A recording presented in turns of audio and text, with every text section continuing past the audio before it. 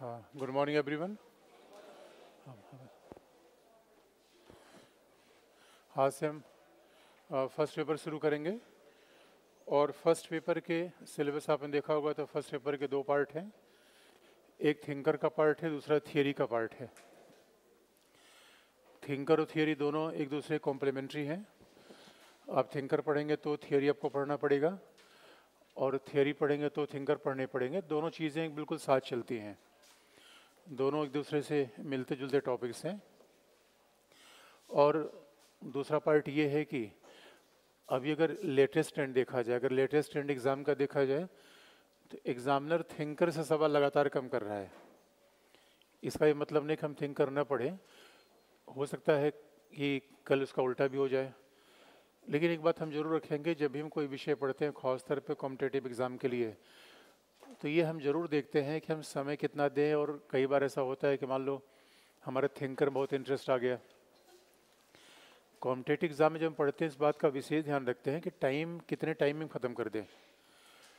तो हो सकता है कि हमें थिंकर कई बार हम को, जो कोई चीज़ पढ़ते हैं जीएस में थिंकर में तो हो सकता है बहुत इंटरेस्टिंग लग जाए कि बड़ा मज़ा आ रहा है इसमें। लेकिन उस चीज़ को हम समयबद्ध रूप में पूरा करते हैं कि इंटरेस्ट से ज़्यादा मैनेजमेंट पार्ट आता है कि कई बार हमें किसी काम में बहुत इंटरेस्ट आ रहा है, लेकिन समय अलाउ नहीं कर रहा है। तो उसको हम वहीं स्टॉप करते हैं। कि कॉम्पिटेटिव एग्ज़ाम में या किसी भी प्रतियोगी परीक्षा में ये बात आपको बहुत ध्यान रखना होता है।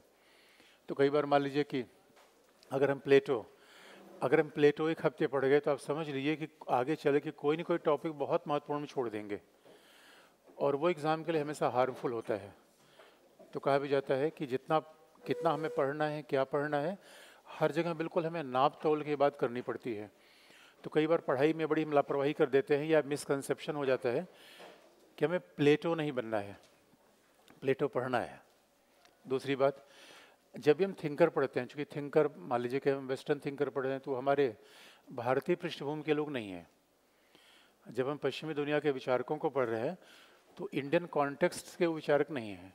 तो विचारक है यूरोप के तो विचारक यूनानी दौर के हैं यूरोप के हैं तो स्वाभाविक तौर पर अगर वो यूनानी दौर के हैं यूरोप के हैं तो उनका कॉन्टेक्स्ट हमसे थोड़ा अलग है। कॉन्टेक्स्ट थोड़ा अलग है तो और, आजकल तो डिबेट चलती है कर थिंकर को पढ़ें कैसे। लेकिन उस डिबेट को हम अभी लास्ट में आपको बता देंगे। कई चीज़ें हैं जब आपके मन में आपको प्रश्न आता है थिंकर किसे कहते हैं थियरी किसे कहते हैं फिलोसफर किसे कहते हैं इस बात का जवाब हम आगे चल के देंगे। पहले हम बेसिक शुरू करेंगे। क्योंकि पहले हम फिलोसफर हम नहीं बताया, हम यही बताना शुरू कर दें कि फ़िलासफ़र किसे कहते हैं। हमने थियरी आपको नहीं बताया, क्योंकि जिस टॉपिक को आप पढ़ रहे हैं, उसका फ़र्स्ट पेपर का टाइटल है पॉलिटिकल थिंकर्स इन थियरी और सही मायने में उसका पूरा टाइटल है, राजनीतिक सिद्धांत, कई बार कहते हैं, राजनीतिक सिद्धांत। तो अब सिद्धांत क्या है, दर्शन क्या है थिंकर क्या है थियरी क्या है, ये डिफ्रेंशिएशन बाद में करेंगे। पहले हम ये देखने का प्रयास करेंगे कि विचारक हैं कौन से, पहली बात। और हमेशा जब किसी थिंकर को पढ़ेंगे ये भी हमें ध्यान में रखना है थिंकर क्या कहता है उस हिसाब से दुनिया में देखनी है। तो आ, कई बार ऐसा होता है कि मान लीजिए हमने पढ़ा किसी थिंकर को तो हमें ऐसा लग सकता है यार तो बड़ी अटपटी बात कर रहा है बड़ी अजीब सी बात कर रहा है। तो सवाल यह है कि अटपटी बात कर रहा है अजीब सी बात कर रहा है इस बात से आपका सरोकार नहीं होना चाहिए। वो क्या कह रहा है उस बात पे आपका सरोकार ज़्यादा होना चाहिए। इसलिए कई बार लर्निंग प्रोसेस में बड़ी समस्या तब आती है कि मान लीजिए प्लेटो अगर हम पश्चिमी विचारक शुरू करें प्लेटो कुछ ऐसा कहना शुरू कर दे, जो आपको लगता है, यार, ये तो संभव ही नहीं है, ये ठीक नहीं हो सकता। तो आप उसके जजमेंट करने वाले नहीं हैं कि ठीक है कि नहीं ठीक है। तो हमें उस विचारक को पढ़ना है पहला, और जिस, जिसने उसको क्रिटिसाइज किया है, उसको हिसाब से उसकी क्रिटिज्म भी करना है। हम क्या सोचते हैं? हम अपनी आलोचना नहीं लिख सकते। हम वर्तमान के क्या एग्ज़ाम्पल लिख सकते हैं। जो उसने कहा, वो कैसा है? और अगर आपने moral philosopher G S fourth पे पढ़ा होगा तो आप समझिए कि मॉरल फिलोसफर को हम रिपीट करने जा रहे हैं। तो प्लेटो है कौन? मॉरल फिलोसफर तो प्लेटो के रूप में हम मॉरल फिलोसफर को ही रिपीट करने जा रहे हैं। इसका सीधा सा मतलब है कि अगर आपने अच्छा एथिक्स आपने पढ़ रखा है सभी लोगों ने? या तो एथिक्स पढ़ लेंगे तो यहाँ पढ़ने की ज़रूरत नहीं पड़ेगी, यहाँ पढ़ लेंगे तो एथिक्स में ज़रूरत नहीं पड़ेगी। कहाँ थोड़ा सा डिफ्रेंसिएशन करें, मैं बता दूँगा कि फिर दोनों में लिखने में कहाँ अंतर करेंगे। और सबसे अंतिम बात यह है कि प्लेटो के बारे में कॉल पापर ने क्या कहा हंडारन ने क्या कहा, माइकल शॉर्ट ने क्या कहा, उसी भी ज़्यादा महत्वपूर्ण है कि आपने उसको क्या समझा। तो पूरे अध्ययन के दौरान लर्निंग प्रोसेस में एक बड़ा, कई बार हमें हो जाता है बड़े बड़े फिलोसफर का नाम इन्होंने ये कहा, उन्होंने वो कहा, उन्होंने कहा। अंतिमतः एग्जामिनर इस बात को नहीं देखता किसने क्या कहा। प्लेटो को पढ़कर आपने क्या समझा? वही बात इम्पोर्टेंट है। और अगर आपने नहीं समझा तो आपको शब्द सीमा में कभी लिख नहीं पाएँगे। इसे कभी रटने का प्रयास मत करिए। वैसे तुम्हारी उम्र ही रटने की नहीं है। जिस उम्र में हम है, वहाँ चीज़ रटी नहीं जाती, समझी जाती है, किसी विषय में। अगर आप रट रहे हैं तो पढ़ाई का तरीका ही बिल्कुल गलत है। आपने गलत तरीका अपना रखा है। हमें विचार शक्तिशाली बनाना चाहिए, संकल्पना, विचारधारा। तो ये दुनिया वैचारिक चलती है। और ख़ास तौर पर हमारे एग्ज़ाम में तो इस बात का बहुत बड़ा फ़र्क है। कई बार मैं बच्चों को ये बात एग्ज़ाम्पल भी देता हूँ। अब ये क्लास ट्वेल्थ किताब लिखी गई एन की। क्लास ट्वेल्थ की एन की संविधान की पढ़िए सिद्धांत की पढ़िए तो बिल्कुल विचारधारा का मंथन कर देती है। आपने पढ़ाई जब एन पढ़ते हैं, बच्चा सवाल पूछता है। जब बच्चा सवाल पूछता है, तब आपको लगता है कि यार ये तो बड़ा गंभीर सवाल पूछ रहा है। उस सवाल का जवाब देने का प्रयास करिए, बजाय कि तथ्य ढूँढने का प्रयास करिए। अगर यूपीएससी के एग्ज़ाम में आपकी शुरू से तथ्य ढूँढने की आयत हो गई तो पूरा एग्ज़ाम का प्रिपरेशन डिलेल हो जाता है। तो बड़ी विडम्बना ये हो जाती है कि हम पहले फैक्ट ही ढूंढना शुरू कर देते हैं कि ये फैक्ट वो फैक्ट तो फिर अगर फैक्ट ही ढूंढना यूपीएससी के एग्ज़ाम का पर्पज़ हो तो कभी आप देखिएगा ग्रुप डी में पॉलिटी पूछा जाता है आईएएस एग्ज़ाम में वही पॉलिटी पूछी जाती है, कोई ना कोई डिफरेंस होगा। तो आपके एग्ज़ाम का पर्पज़ बिल्कुल ही अलग है। बिल्कुल अलग है। और दूसरी बात जहाँ तक विषय के बारे में तो बहुत ज़्यादा मैं नहीं बताऊँगा, आप बुद्धिमान है कि देखिए मेरा काम पढ़ाना है, लेकिन एक बात याद दिला दें, अभी बहुत बड़ा मिसकंसेप्शन है, अभी पिछली बार यूपीएससी की रिपोर्ट आई है कि 2017 से लेकर 2022 तक जिस विषय ने सबसे ज़्यादा सिलेक्शन दिया है पॉलिटिकल साइंस से, प्रमाण है, इस बार का रिज़ल्ट देखिए, सबसे ज़्यादा रिज़ल्ट किसी विषय से हैं पॉलिटिकल मेंस का भी जो रिज़ल्ट आया है, ये आंकड़े हैं। तो आप इस मिथ्या धारणा में कभी मत रहिए, कोई स्कोरिंग होता है, नहीं होता है। आज की डेट में इससे अच्छा कोई सब्जेक्ट नहीं है, ये बंद दो तीन कारणों से बता दूँ। अगर आप, हमने कहा कि फिलोसफर पढ़ लीजिएगा, उसके बाद जाके एथिक्स पढ़िएगा, आपको लगे रिपीटिशन हो रहा है। थियोरी पढ़ लीजिए, उसके बाद जब जाके एथिक्स पढ़िए, आपको लगे, यार, ये तो वही बात, वही समाजवाद, वही स्वतंत्रता, वही समानता, वही न्याय वहाँ पढ़ रहे हैं। आई आर पूरा जीएस का पार्ट है। संविधान के बिना पार्ट चलता नहीं। और अगर आप विचारधारा और विचारक पढ़ेंगे तो वर्ल्ड हिस्ट्री फिर आपके दाएँ हाथ का खेल हो जाएगा। तो आज की डेट में अप्लीकेशन बहुत ज़्यादा है और विचारों की दुनिया समझना क्यों आवश्यक है? सी सेट का पेपर आप देखिए। सी सेट में लोग क्यों फेल होते हैं? आपने कभी ध्यान देखा है? हमारे एग्ज़ाम का पूरा पैटर्न तो देखिए। निबंध कितने नंबर का है? ढाई सौ नंबर का है। निबंध में रटने कोई आवश्यकता नहीं है। इंटरव्यू कितने मार्क्स का है? दो सौ? पचहत्तर। ढाई सौ में कोई रटने की आवश्यकता नहीं है, दो सौ पचहत्तर में कोई रटने की आवश्यकता नहीं है और सी सेट रटने खेल ही नहीं है। कभी ध्यान से आप देखेंगे सी सेट में क्या है? पैसेज दिया गया है और पैसेज को आपको सॉल्व करना है। तो अपने आप में सी सेट का पूरा, आप पैसेज पढ़ क्यों नहीं पाते? क्योंकि आपके विचार तगड़े नहीं है। आप पॉलिटिकल थॉट पढ़ लीजिएगा थिंकर पढ़ लीजिएगा तो उसके बाद निबंध आप देखिएगा। निबंध सारे फिलोसफर पूछ रहे हैं, और प्लेटो कौन है? फिलोसफर है। निबंध का पूरा पैटर्न एग्ज़ाम ने चेंज कर दिया है कि भाई आप विचारों की दुनिया में लेके आइए। यानी पूरी एग्ज़ाम का पर्पज क्या है, ज़रा सोच के देखिए। एक ज़िले का जिलाधिकारी बन जा रहा है, एक सामान्य बात होती है, बहुत विशेष बात होती है। तो जिलाधिकारी से क्या अपेक्षा की जाती है? एक दिन भर बैठ के नोट गिनता रहे। या दिन भर बैठ के हिसाब किताब करता रहे। उसकी अपेक्षा क्या है? ज़िले के विकास के लिए उसके पास विचार क्या है? योजना क्या है? वो मास्टर प्लानर होता है। आपके पढ़ने में क्या होना चाहिए? जैसा एग्ज़ाम का नेचर है, वैसा ही काम का नेचर होता है। इसे अगर आप, इस एग्ज़ाम को आप देखेंगे तो आपसे अपेक्षा की जाती है कि विचारवान होने चाहिए। कोई भी कोई भी, आप देखें लॉ बनता है पार्लियामेंट में, पहले उसका प्रियम्बल आता है, प्रस्तावना आती है। भारत का संविधान लिखा गया, पहले क्या है? प्रस्तावना। मैं इसलिए कह रहा हूँ कि बच्चों के पढ़ने का तरीका ही गलत है। और उस गलत तरीके को हम पढ़ते रहते हैं, दूसरे को बताते भी रहते हैं। बड़ी इंटरेस्टिंग बात यह है और कई बार भीड़ में आने का बड़ा नुकसान ही होता है। हमने तो गलत तरीका अपना ही रखा है। अगली पूरी जनरेशन को ऐसा हमने गलत तरीका बता दिया कि सब सही क्या है, गलत क्या है, उसे मामला गुम हो गया। और प्लेटो यही बात तो कहता है कि सही क्या है, गलत क्या है। और आजकल डीप फेक का जमाना आ गया है। फेक नहीं है, नकली नहीं है। पहले नकली होता था, अब क्या है, गहरा नकली है। यानी सत्य और असत्य के बीच पहचान ही खत्म हो गई। और फिलोसफर की लड़ाई किस बात के लिए है? फिलोसफर की लड़ाई इसी सत्य और असत्य के बीच पहचान का संघर्ष है। इसलिए एक खास बात है, जब हम फिलोसफर को पढ़ते हैं, विचार की बात करेंगे, उसको हम समझेंगे। विचार की बात, अब अब आप सोचेंगे फिलोसफर पढ़ना सामान्य व्यक्ति बात है। कोई भी बात सामान्य व्यक्ति की ही है, क्योंकि आप सामान्य है नहीं।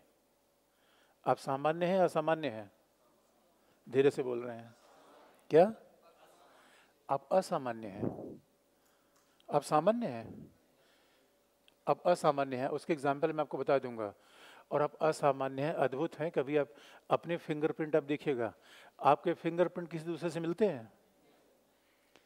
तो हर बात में दूसरे की सलाह लेना ज़रूरी है।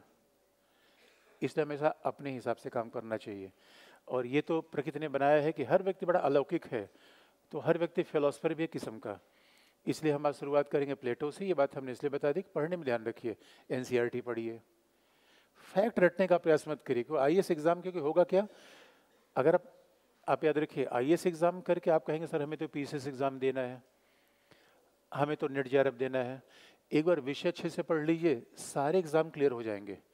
लेकिन अगर आप मेन कॉन्सेप्ट से, क्योंकि सारे पीसीएस के एग्ज़ाम आई को फॉलो करते हैं यूपी तो बिल्कुल डिट्टो फॉलो करता है। बाकी स्टेट एग्ज़ाम सब आई को फॉलो करते रहते हैं।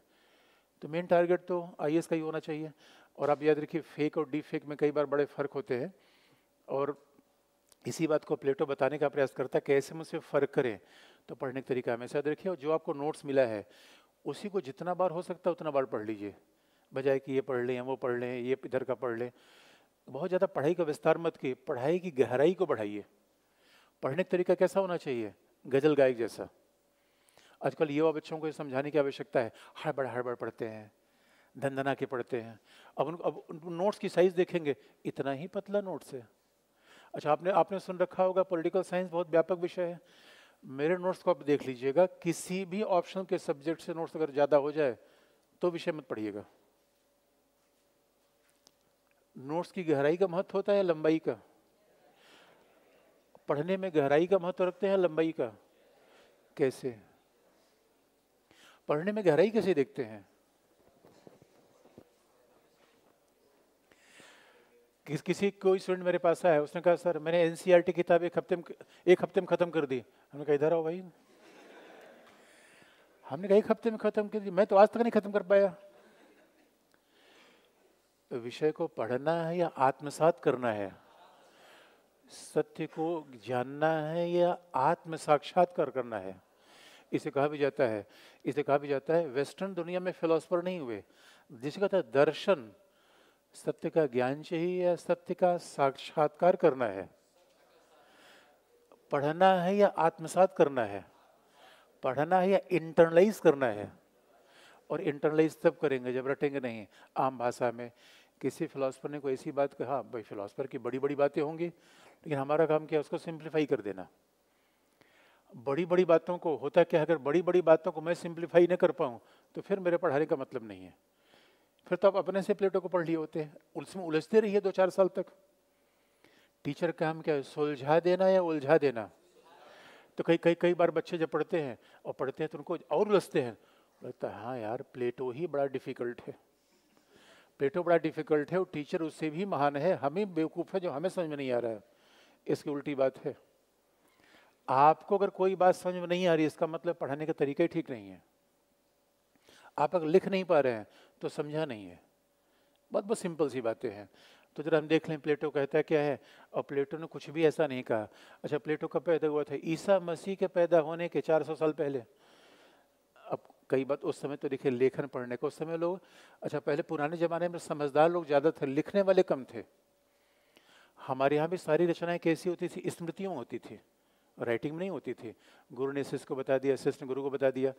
तो प्लेटो के बारे में, जैसे हमारे जितने पुराने विचारक हैं, प्लेटो कौन था, मनु क्या कौटिल्य कब था, आज तक कन्फ्यूज़न है कौटिल्य कब पैदा हुआ था। ये प्लेटो के बारे में भी है। प्लेटो के बारे में एग्जैक्ट उसका डेट ऑफ़ बर्थ नहीं पता है। फिर भी लोग कहते हैं कि मान लो कि ईसा मसीह के पैदा होने के चार सौ अट्ठाईस साल पैदा हुआ था। तो ईसा मसीह के पैदा हुए कितने दिन हो गए? मतलब तेईस सौ साल तो इधर हो गए। तेईस सौ साल इधर हो गए, चार सौ साल उधर मान लो, यानी सत्ताईस सौ साल पहले। हम आपको सत्ताईस सौ साल पहले ले जाना चाहते हैं। आप कहेंगे, सर, कैसे चलें? सत्ताईस सौ साल पहले कैसे चलें? तो सत्ताईस सौ साल पहले आपको जाने की ज़रूरत नहीं है, क्योंकि प्लेटो ने जिस समस्याओं को देखा, वो आज के समाज में भी विद्यमान है। तो प्लेटो को समझने के लिए हिस्ट्री आपको बाद में देख लीजिएगा, किस समय अब पता चला हम सत्ताईस सौ साल पहले आपको ले चले। आप कहो, सर, देखो, हम तो दो साल भी पहले नहीं जा पा रहे हैं। तो सत्ताईस सौ साल पहले आपको कैसे खींच खांच के ले चले? लेकिन सत्ताईस सौ साल पहले का समाज, आज का समाज कैसा है, इसका अंतर जानना हो तो कभी आप चले जाइए अंडमान। अंडमान निकोबार आइलैंड में चले जाइएगा। आज भी वहाँ जनजातीय समुदाय रहता है। तो लगभग सत्ताईस सौ साल पहले समाज कुछ ऐसे ही रहा होगा, जहाँ डीप फेक नहीं था, जहाँ व्हाट्सअप नहीं था, उद्योग नहीं था, आधुनिक दुनिया नहीं थी, समाज थोड़ा कबीलाई किस्म का ज़्यादा था। और जैसा समाज होगा समाज कबीलाई किस्म का ज़्यादा था। और आप देखेंगे जहाँ कबीलाई समाज होते हैं, वहाँ लड़ाइयाँ बहुत होती हैं। मणिपुर में आप देखिए।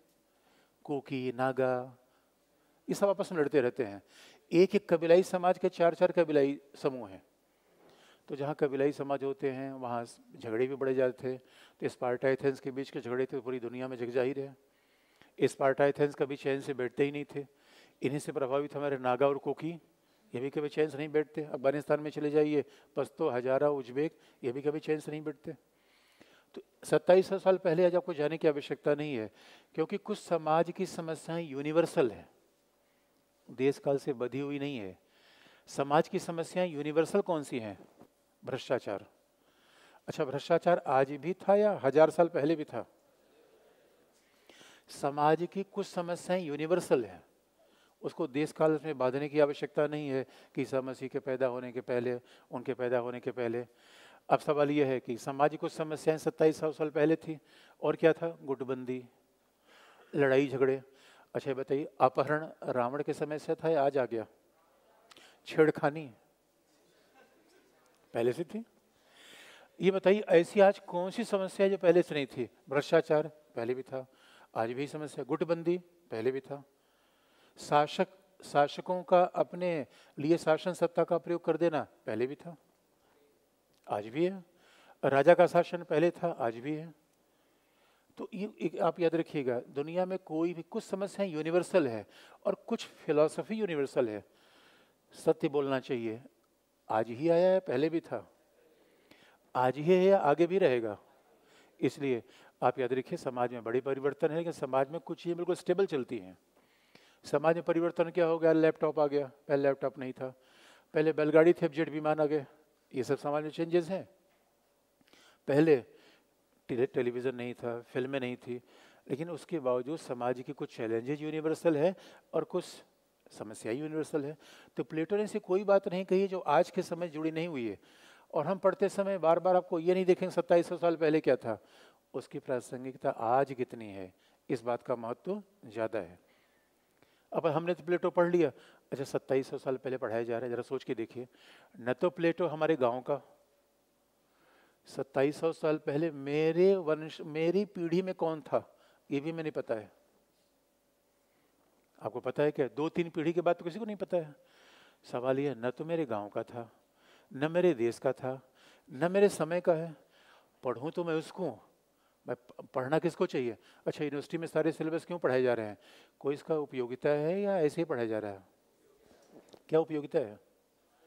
हम फिलोसफर क्यों पढ़ रहे हैं? क्या उपयोगिता है? इसलिए हमारा ध्यान सत्ताईस सौ साल पहले नहीं जाना चाहिए। अब सवाल, अगर फिलोसफर हम पढ़ रहे हैं तो उपयोगिता कोई है या ऐसे ही पढ़े जा रहे हैं? क्या उपयोगिता है? अरे भाई, ना हमारे गाँव का, ना हमारे देश का, न इक्कीसवीं शताब्दी का। आप कहेंगे, सर समय उस समय अलग था कबीलाई समाज था परिस्थितियाँ अलग थी, देश का अलग था तो हम प्लेटो को क्यों पढ़ें? इसे याद रखिए, जैसे मेडिकल साइंस पढ़ा जाता है। मेडिकल साइंस क्यों पढ़ाया जाता है? विषय इसलिए नहीं पढ़ाया जाता, उसे एग्ज़ाम पास करवाना है।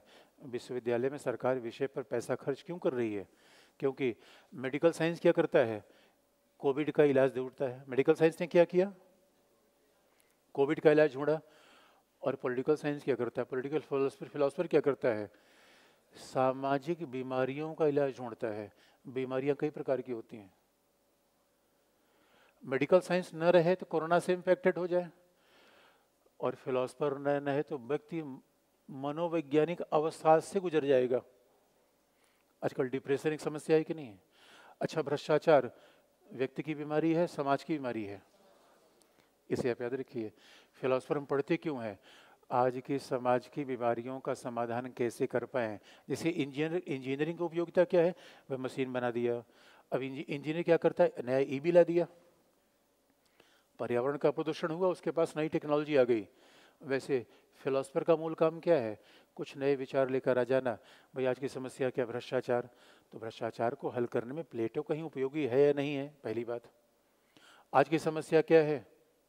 समाज में डीप फेक बढ़ रहा है। आज की समस्या क्या है? आर्टिफिशियल इंटेलिजेंस आ रहा है।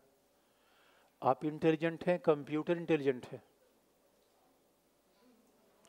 अब तो आर्टिफिशियल इंटेलिजेंस आ रहा है। तो आर्टिफिशियल इंटेलिजेंस में करप्शन भी तो आर्टिफिशियल तरीके से होगा। कैसे पकड़ेंगे? इसलिए पहले हम समाज की बीमारियाँ देखेंगे। सांप्रदायिकता क्या है? सामाजिक बीमारी। अशिक्षा क्या है? सामाजिक बीमारी। गुटबंदी क्या है? सोशल डिजीजेस और और कई कई बार किसी डॉक्टर से मिली है डॉक्टर बड़ा कहता है, मैंने मेडिकल साइंस पढ़ा है मेडिकल साइंस पढ़ा है हमने कहा डॉक्टर साहब, कहाँ रहोगे? अच्छा कई कई बार जो साइंस वाले स्टूडेंट होते हैं मानविकी विषय के स्टूडेंट हल्के से लेते हैं। कहते हैं बीएससी किया हुआ सर सर मैथमेटिक्स से बीएससी किया हुआ बीटेक बीटेक आईआईटी से बीटेक हमने कहा, इधर आओ। अरे इंजीनियर फैक्ट्री ठीक करता है। डॉक्टर शरीर ठीक करता है, फैक्ट्री भी समाज में रहेगी और हम कहाँ रहेंगे? समाज में रहेंगे। तो समाज को ठीक कौन करेगा? फिलोसोफर इसे आप याद रखिए आने वाले समय बच्चे समझ नहीं पाते, आजकल बच्चे क्या पढ़ रहे हैं? बी बी ए और इसलिए आई का काम क्या है? समाज की समस्याओं का निदान करना।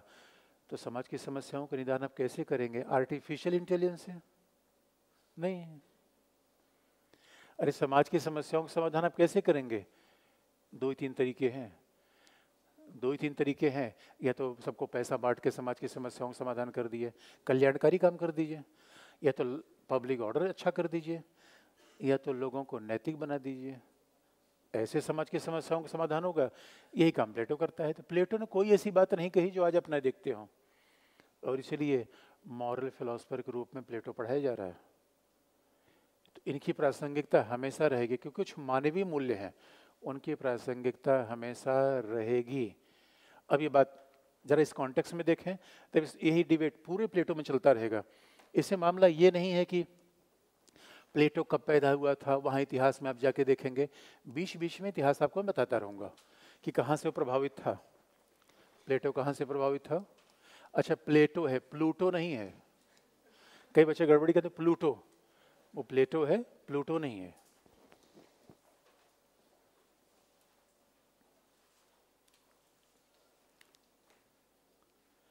अच्छा अभी हमने कुछ बताया नहीं, तब तक सवाल भी आने लगा। ये भी प्रवृत्ति थोड़ा नियंत्रित करनी है। पूछने के भाव से मत बैठिए, सुनने के भाव से बैठिए। आज, आजकल आप जानते हैं, प्लेटो प्लेटो की एकेडमी थी, वहाँ लोगों को पढ़ाने बुलाता था, लेकिन फ्री ऑफ़ कॉस्ट यही थोड़ा प्लेटो की अकेडमी और इस समय हमारे यहाँ थोड़ा फ़र्क आ गया है। आजकल लोग कोचिंग में पैसा वैसा लेके आ रहे हैं। पैसा दे के आ रहे हैं और इसे सवाल बहुत पूछते हैं। और पैसा दे के आ रहे हैं इसीलिए बैठ के पहले सोचते हैं, पहले देखें टीचर कैसा है। मतलब मतलब देखने में ठीक लग रहा है कि नहीं है। भाई देखिए, आधुनिक दुनिया देखिए, आधुनिक दुनिया ऐसे ऐसे तो होती है। फिर, कई कई बार तो बच्चे बड़ी इंटरेस्टिंग एक बार तो एक बार तो बच्चा मेरे पास आया हमें कहा, क्या करने आया वो उनका सर मैं ये देखना चाहता हूँ, आपकी बात मेरे समझ में आ रही कि नहीं समझ आ रही है? मैंने कहा, कोई बात नहीं तो देख लो आके। देखिए, ये आधुनिक दुनिया है। प्लेटो के समय ऐसा नहीं था। प्लेटो के समय गुरु शिष्य की परंपरा थी, लेकिन गुरु के पास आने के लिए कोई भी आ सकता था, और शिष्य ऐसा होता था, देखने के लिए नहीं, आज्ञा पालन के लिए आता था। गुरु की देखने का सवाल ही पैदा नहीं था प्लेटो, इतना बड़ा फिलोसफर था, वो प्लेटो कहना क्या चाहता था? बड़ी सिंपल सी बात है। इतिहास को हम बाद में देखेंगे, उसके मूल तत्व को अगर हम देखें तो देखिए, प्लेटो इस विषय पर, इस विषय पर विचार कर रहा था कि मूलतः मानव जीवन का मूल तत्व है क्या? इसी इसी संदर्भ में आज तक डिबेट चल रहा है। मानव जीवन का मूल उद्देश्य क्या है? अच्छा आपका, आपके जीवन कोई पर्पज है कि नहीं है? अब आपने प्लेटो पढ़ा हो न पढ़ा उससे क्या मतलब है? जब मैं कोई सवाल पूछूँ, जवाब तो आप देंगे। आपके जीवन का कोई पर्पज है? क्या? आपके आपके जीवन का पर्पज क्या है? सुख की प्राप्ति। अच्छा ये भी ये बात है। यानी कुछ लोग कह रहे हैं, मानवीय जीवन का पर्पज क्या है? सुख की प्राप्ति। तो मेरे प्यारे बच्चों, ये बताओ, सुख की प्राप्ति सुबह सुबह रजाई छोड़ के आए हो, कंबल छोड़ के आए हो, दुख मिला कि सुख मिला? सुबह सुबह खोपचे में बैठ गए क्लासरूम में आके। बाहर जाके बत्रा के सामने चाय पीने में ज़्यादा सुख मिलता है क्लासरूम में? ये सुख पाने आए हो? कमाल की बात है। और आप याद रखिए, जिस तरीके के हमारे बच्चे बोल रहे हैं कि जीवन में सुख प्राप्त करना है, वैसे ही प्लेटो के समय में कुछ ऐसे सुख प्राप्त करने वाले लोग थे, जिन्हें प्लेटो का भी सामना ऐसे ही लोगों से हुआ था, जिन्हें कहा जाता था, सोफिस्ट। और प्लेटो ने सोफिस्ट से पूछा, इसलिए ये मेरा बच्चा सोफिस्ट है? ये सुख प्राप्त करना चाहता है कितना दुबला पतला मुझे यकीन नहीं हो पा रहा है।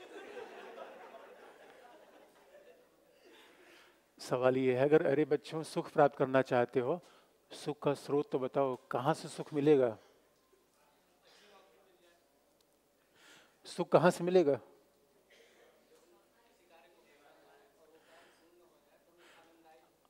अच्छा आनंददायी फील होता है। तो इसका मतलब है, जीवन का पर्पज सुख है तो सुख कहाँ मिलता है? मान लो चार, हमने समोसा खाया, चार समोसे में सौ ग्राम सुख मिला और क्लास में बैठे पचास ग्राम सुख मिला तो हमें क्या काम करना चाहिए? सुख। तो ये बताओ, जिम जाने में सुख ज़्यादा मिलता है क्लास आने में?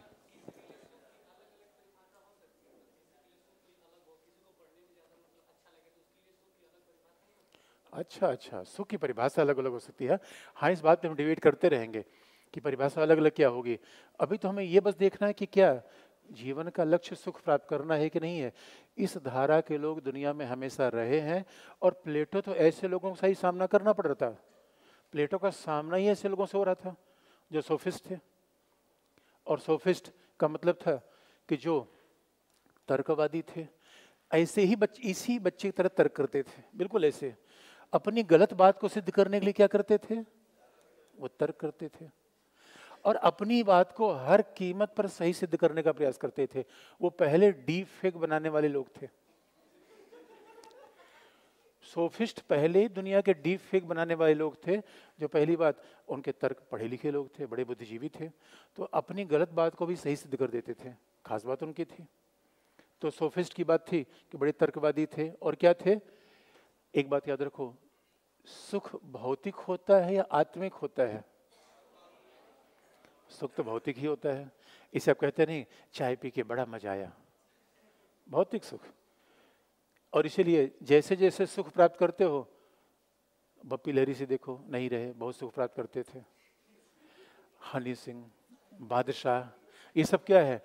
भौतिक जीवन प्राप्त करने वाले, सुख करने वाले लोग हैं, लेकिन ये सोफिस्ट नहीं है, क्योंकि उतने बड़े ज्ञानी नहीं है। सोफिस्ट क्या थे?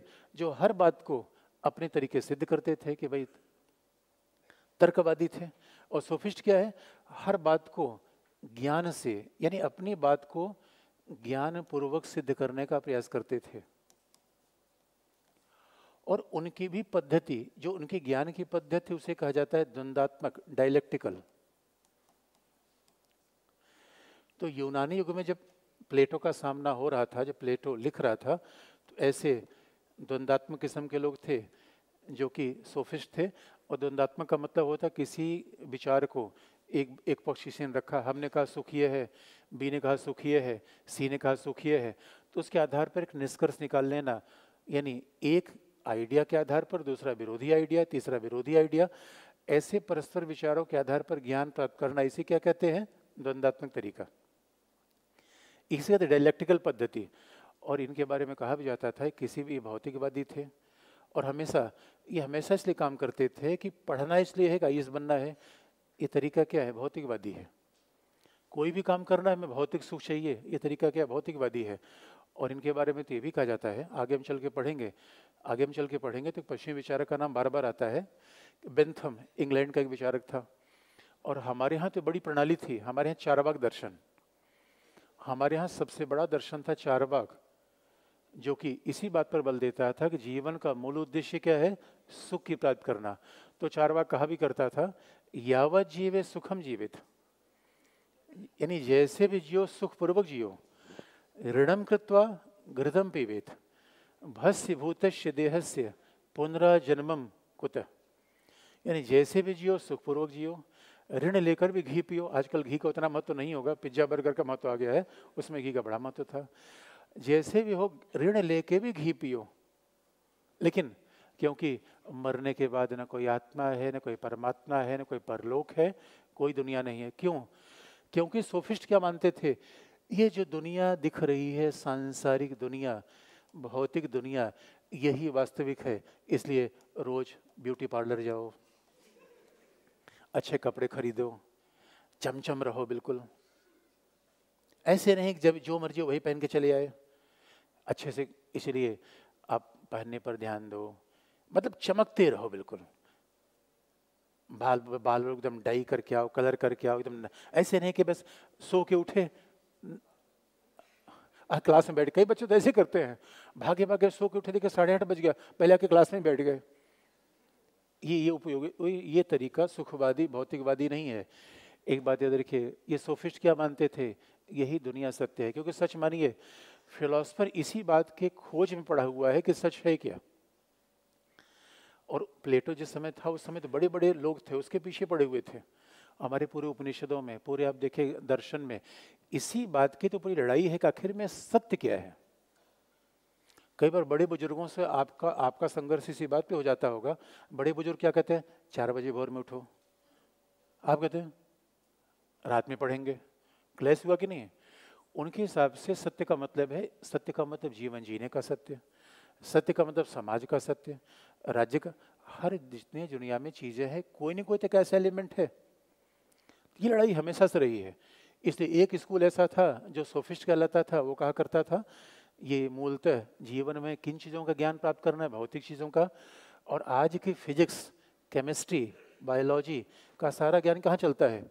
इस पर आज की दुनिया में जो ज्ञान का तरीका सबसे बलवती है, जो सबसे प्रभावशाली है इकोनॉमिक्स संसारी दुनिया ज्ञान। इकोनॉमिक्स में क्या है? बेचो, खरीदो, ये सब मॉडर्न सोफिस्ट ही तो है। कहने का मतलब सोफिस्ट ने जो बात कह दी, वही खत्म हो गया, ऐसा नहीं है।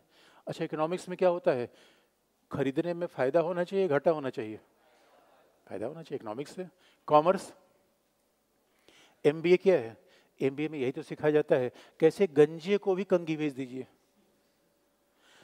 आज, आजकल तो यही यही तो आजकल दुनिया चल रही किसी भी तरीके से मैं अपनी बात सत्य सिद्ध कर दूँगा, अपनी बात बढ़ा चढ़ा कर बता दूँगा, मेरी बात ही सही है, यही सोफिस्ट किया करते थे।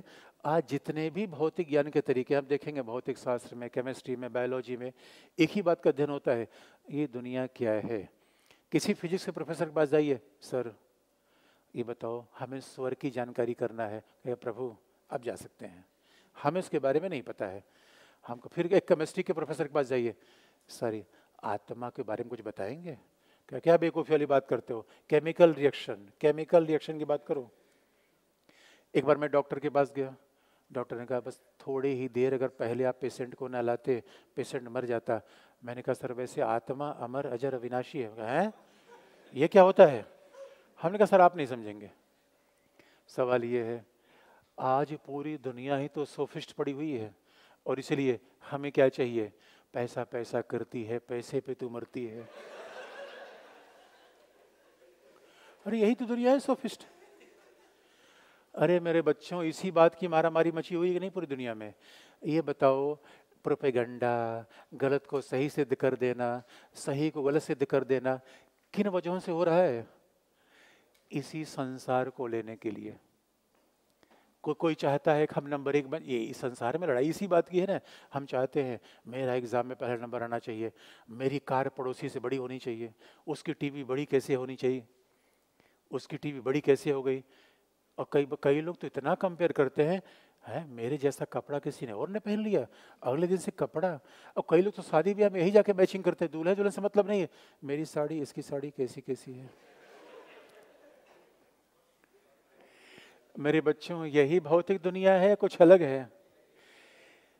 यही सत्य है या इसके अलावा कोई सच है? किसको ढूंढ रहे हो? तुम्हें क्या चाहिए? डॉलर या डंकी? डंकी देखो, डंकी में क्या दिखाया जा रहा है? जो डंकी मूवी आ रही है, अरे मेरे दोस्तों, आप परंपरा से लेकर आधुनिक तक एक बड़ा स्कूल ऑफ़ थॉट इसी बात की करता है। बेंथम से लेकर अभी तक। खुदा की कसम, पैसा खुदा तो नहीं, खुदा से कम भी नहीं। ये भौतिकवादी दुनिया है। क्या चाहिए? खुदा चाहिए या पैसा चाहिए? भगवान चाहिए या दुनियादारी चाहिए? धीरज क्यों बोल रहे हो? दुनियादारी चाहिए। अब ये प्लेटो प्लेटो अविवाहित था। ये भी बात समझने की है कि फिलोसफर था कैसा? कहाँ पैदा हुआ था तो जहाँ पैदा हुआ था, ये ये लोग सुख सुख की बात किए जा रहे थे। सब अपनी अपनी बात किए जा रहा था।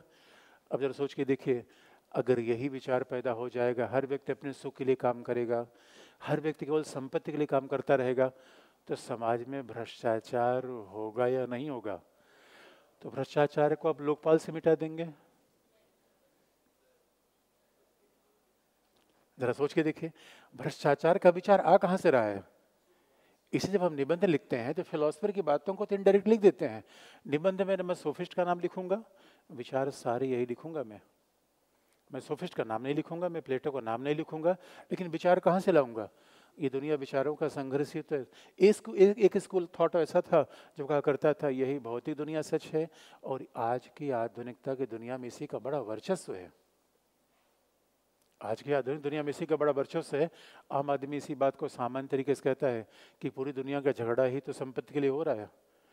पूरी दुनिया का झगड़ा इसी बात में है कि मेरा है मेरा है। हम दूसरे को पीछे छोड़ना चाहते हैं इस भौतिक दुनिया के लिए। तो सच ये है, जिस भौतिक दुनिया के पीछे हम पड़े हुए हैं, वो सत्य है या असत्य है? डॉलर सत्य है या कुछ और सत्य है? वो वाहन सत्य है कुछ और सत्य है? अब दोस्तों, हम जवाब नहीं दोगे तो कैसे बात बनेगी? क्या सच है? लेकिन फिर एक दूसरी बात, तब तक प्लेटो टकराया। प्लेटो प्लेटो एक इनसेट सामना कर रहा था, प्लेटो जाता था मंदिर और जब मंदिर से आता था, तब अपने दोस्तों के साथ मिलता था। दोस्तों के साथ मिलता था, उसमें सोफिस्ट भी थे, थ्रेसी मैक्स तो उनके साथ बातचीत करता था। तो प्लेटो कहा करता था, नहीं यार, तुम लोग जो सत्य की बात करते हो, सत्य है नहीं वैसा। मानवीय जीवन का उद्देश्य पैसा कमाना नहीं है, सुख प्राप्त करना नहीं है। एक बात याद रखिए, अगर मानवीय जीवन का उद्देश्य पैसा कमाना, सुख प्राप्त करना ही हो जाता, राष्ट्रपिता हमारे गांधी हैं या कोई और है? गांधी ने क्या किया? सुख प्राप्त करने का प्रयास किया या कुछ और किया?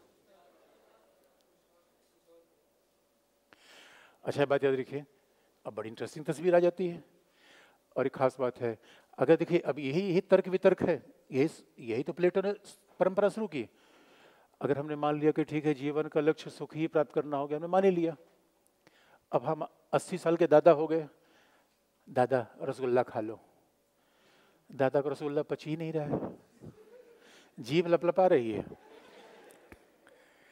इसलिए एक एक बड़ा अच्छा शंकराचार्य ने श्लोक कहा है कि व्यक्ति के दांत गिर जाते हैं, आँख खत्म हो जाती है, बाल झड़ जाते हैं तब भी इस पूरी दुनिया के पाने की आकांक्षा बनी रहती है। तो शंकराचार्य ने ये, मैं मतलब कि बड़ा अच्छा उनका श्लोक है, मैं श्लोक भूल रहा हूँ मतलब भूल के हम याद ही नहीं कर पाए कभी, ये समझ लो। उनका ये संदर्भ है, वाराणसी गलियों में जा रहे थे एक आदमी। एक आदमी जिसके पास दांत नहीं थे, वो संस्कृत का किस श्लोक याद कर रहा था? तो शंकराचार्य ने कहा, भज गोविंदम भज गोविंदम गोविंदम भज मूढ़ मते। गोविंद चाहिए या सुख चाहिए? तो सुख चाहिए। ये बताओ दोस्तों, एक जीवन कैसा पलाता है? गौतम बुद्ध को क्या चाहिए था? क्या चाहिए था? गौतम बुद्ध को सुख नहीं चाहिए था। कमाल की बात है। राजा बहुत हुए लेकिन गौतम बुद्ध की उपासना हम क्यों करते हैं? क्यों? सुख पाया या कुछ और पाया?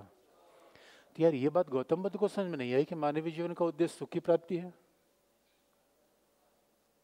कई लोग तो देखिए, और अगर ये फिलॉसफी देख रहे हैं, अमेरिका में चले जाइए, अमेरिका में चले जाइए, यूरोप में चले जाइए, इस फिलॉसफी का डोमिनेंस है। अस्सी साल का आदमी विवाह कर रहा है। बूढ़ा, बूढ़े बुढ़िया पार्क में घूम रहे हैं, बूढ़े ने बुढ़िया को देखा, बूढ़े ने भाई चलो साथ रहते हैं। शादी होगी मज़ा की बात नहीं कर रहा हूँ मैं। और याद रखिए, पूरा पूरा पूरा जीवन ही सुख प्राप्त के लिए है। एक अजीब सी तस्वीर है यार। अगर जीवन का उद्देश्य सुख प्राप्त करना है, देखिए, दो चीज़ में कोई एक सही होगी, गलत होगी।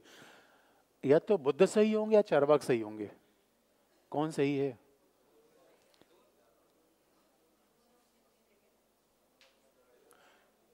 इस बात पे विचार करेंगे। तो अब यही तो सामना। इसलिए प्लेटो ने जो बात ऐसी कही हो तो मानवीय जीवन का शाश्वत संघर्ष है। ढाई हज़ार साल पहले चल रहा था, आज भी चल रहा है। कि मानव जीवन का मूल तत्व तो है क्या?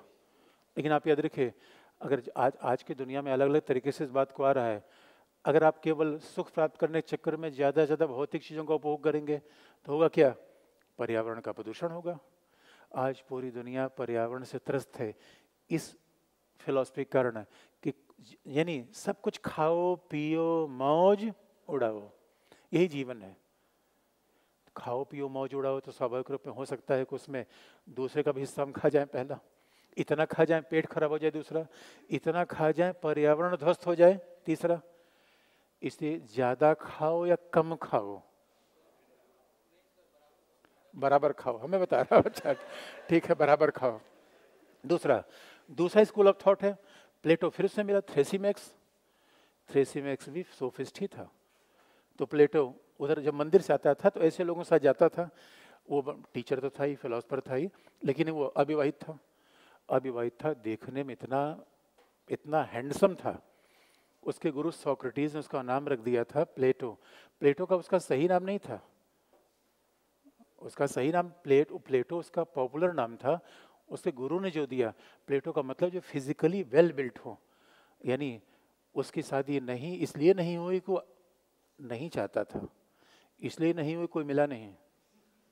बस इतना आकर्षक था देखने में, इतना बड़ा विद्वान था। उसका जो फिलोसफर था सोक्रेटिस, जिसकी कोई रचना मिलती नहीं हमारे पास। सोक्रेटिस ने कुछ लिखा नहीं, और सोक्रेटी और गुरु शिष्य की परंपरा उस समय इतनी बड़ी थी कि प्लेटो ने बार बार कहा कि जो मैं बोल रहा हूँ, सब मेरे गुरु की बातें हैं। मैंने कुछ नहीं कहा। तो सोक्रेटिस की लिखी हुई कोई बात मिलती नहीं। सोक्रेटिस जो बात कह रहा है कौन कह रहा है? प्लेटो कह रहा है। तो गुरु शिष्य की परंपरा इतनी बड़ी थी प्लेटो ने कहा, भाई, सब मेरे गुरु ने कहा है। सब मेरे गुरु ने कहा है। तो जो मैं बोल रहा हूँ, सब मेरे गुरु की बातें हैं। और सोक्रेटिस कहा जाता है कि देखने में उतना अच्छा नहीं था। देखने में बदसूरत था, विद्वान बहुत बड़ा था। लेकिन ये ये कॉम्बिनेशन बड़ा रेयर था कि प्लेटो देखने में भी उतना हैंडसम था। विद्वान भी बहुत ज़्यादा था। फिर भी शादी विवाह नहीं किया, कैसे समाज में रहता था? जहाँ लोग तीन तीन, चार चार विवाह करते थे। आज भी ऐसे बहादुर लोगों कमी नहीं है।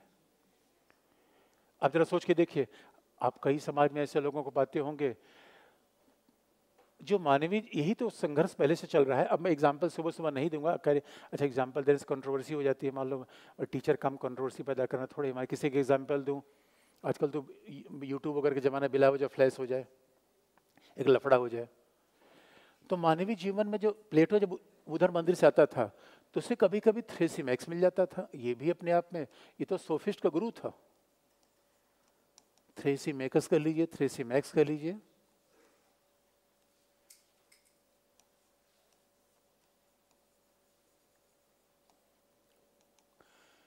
थ्री सी मेकस कर लीजिए थ्री सी मैक्स कर लीजिए।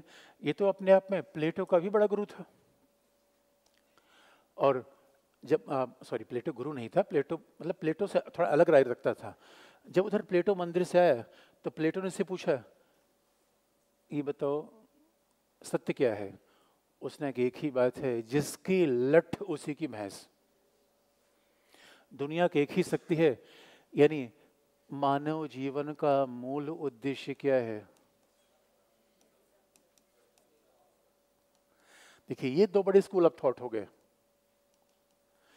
एक कह रहा है, मानव जीवन का मूल उद्देश्य सुखी प्राप्ति है। वही यूनानी की देन थी। ज़्यादातर सोफिस्ट इस बात को मानते थे उसी सोफिस्ट का एक रिप्रेजेंटेटिव था थ्रेसीमैक्स या थ्रेसीमेकस थ्रेसी मेकर्स ने कहा, नहीं नहीं, मानव जीवन का मूल उद्देश्य क्या है? शक्ति प्राप्त करना। एक बात याद रखिए, सुख प्राप्त करने और शक्ति प्राप्त करने में अंतर है। सुख प्राप्त करने का मतलब है कि पिज्जा, बर्गर खूब खाया, बड़ा सा अच्छा घर बनवा लिया, बड़ी सी अच्छी कार ले ली, सुख मिल रहा है। पावर मिलेगा ज़रूर नहीं है। पावर का मतलब क्या है? दरोगा जी आपको बड़ा बिजनेसमैन बनना है तो आप इस स्कूल को मानते हैं। भाई जीवन लोगों की फिलोसफी अलग है, जितने बड़े बड़े बिजनेसमैन हैं, वो किस स्कूल बिलोंग करते हैं? सोफिस्ट उन्हें पैसा बनाना है, और तेलगी ने यही कहा था, पैसा कमाया नहीं जाता, बनाया जाता है। सारे बिजनेसमैन इधर थे, लेकिन आप क्या चाहते हैं? पावर चाहते हैं, या हैप्पीनेस चाहते हैं? या पावर के थ्रू सुख चाहते हैं? बहुत होशियार लोग हैं आप लोग। सोचो, पावर भी चाहते हैं, कई लोग आई कई लोगों से पूछो आई क्यों बनते हो? आई क्यों बनना चाहते हो? और इतने अच्छे इंजीनियर हो, इतना घर में बड़ा बिज़नेस है, उनका सर समझ नहीं रहे हो। पावर आएगा तो जो सुख है और बढ़ जाएगा, नहीं तो पता लग कभी भी सुख छीना जा सकता है।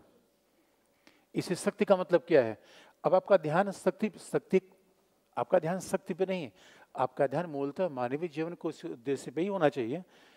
अब आप इस चक्र में पर शक्ति का मतलब क्या है? शक्ति का सामान्य सा मतलब है। वो अंतिम मतलब नहीं है, लेकिन शक्ति का मतलब क्या है? अब दुनिया में प्रभुत्व तो आपका स्थापित हो जाए। आपका प्रभुत्व स्थापित हो जाए, सब आपकी अधीनता स्वीकार कर लें। लोग दुनिया में आपकी अधीनता स्वीकार कर लें, आपका प्रभुत्व स्थापित हो जाए।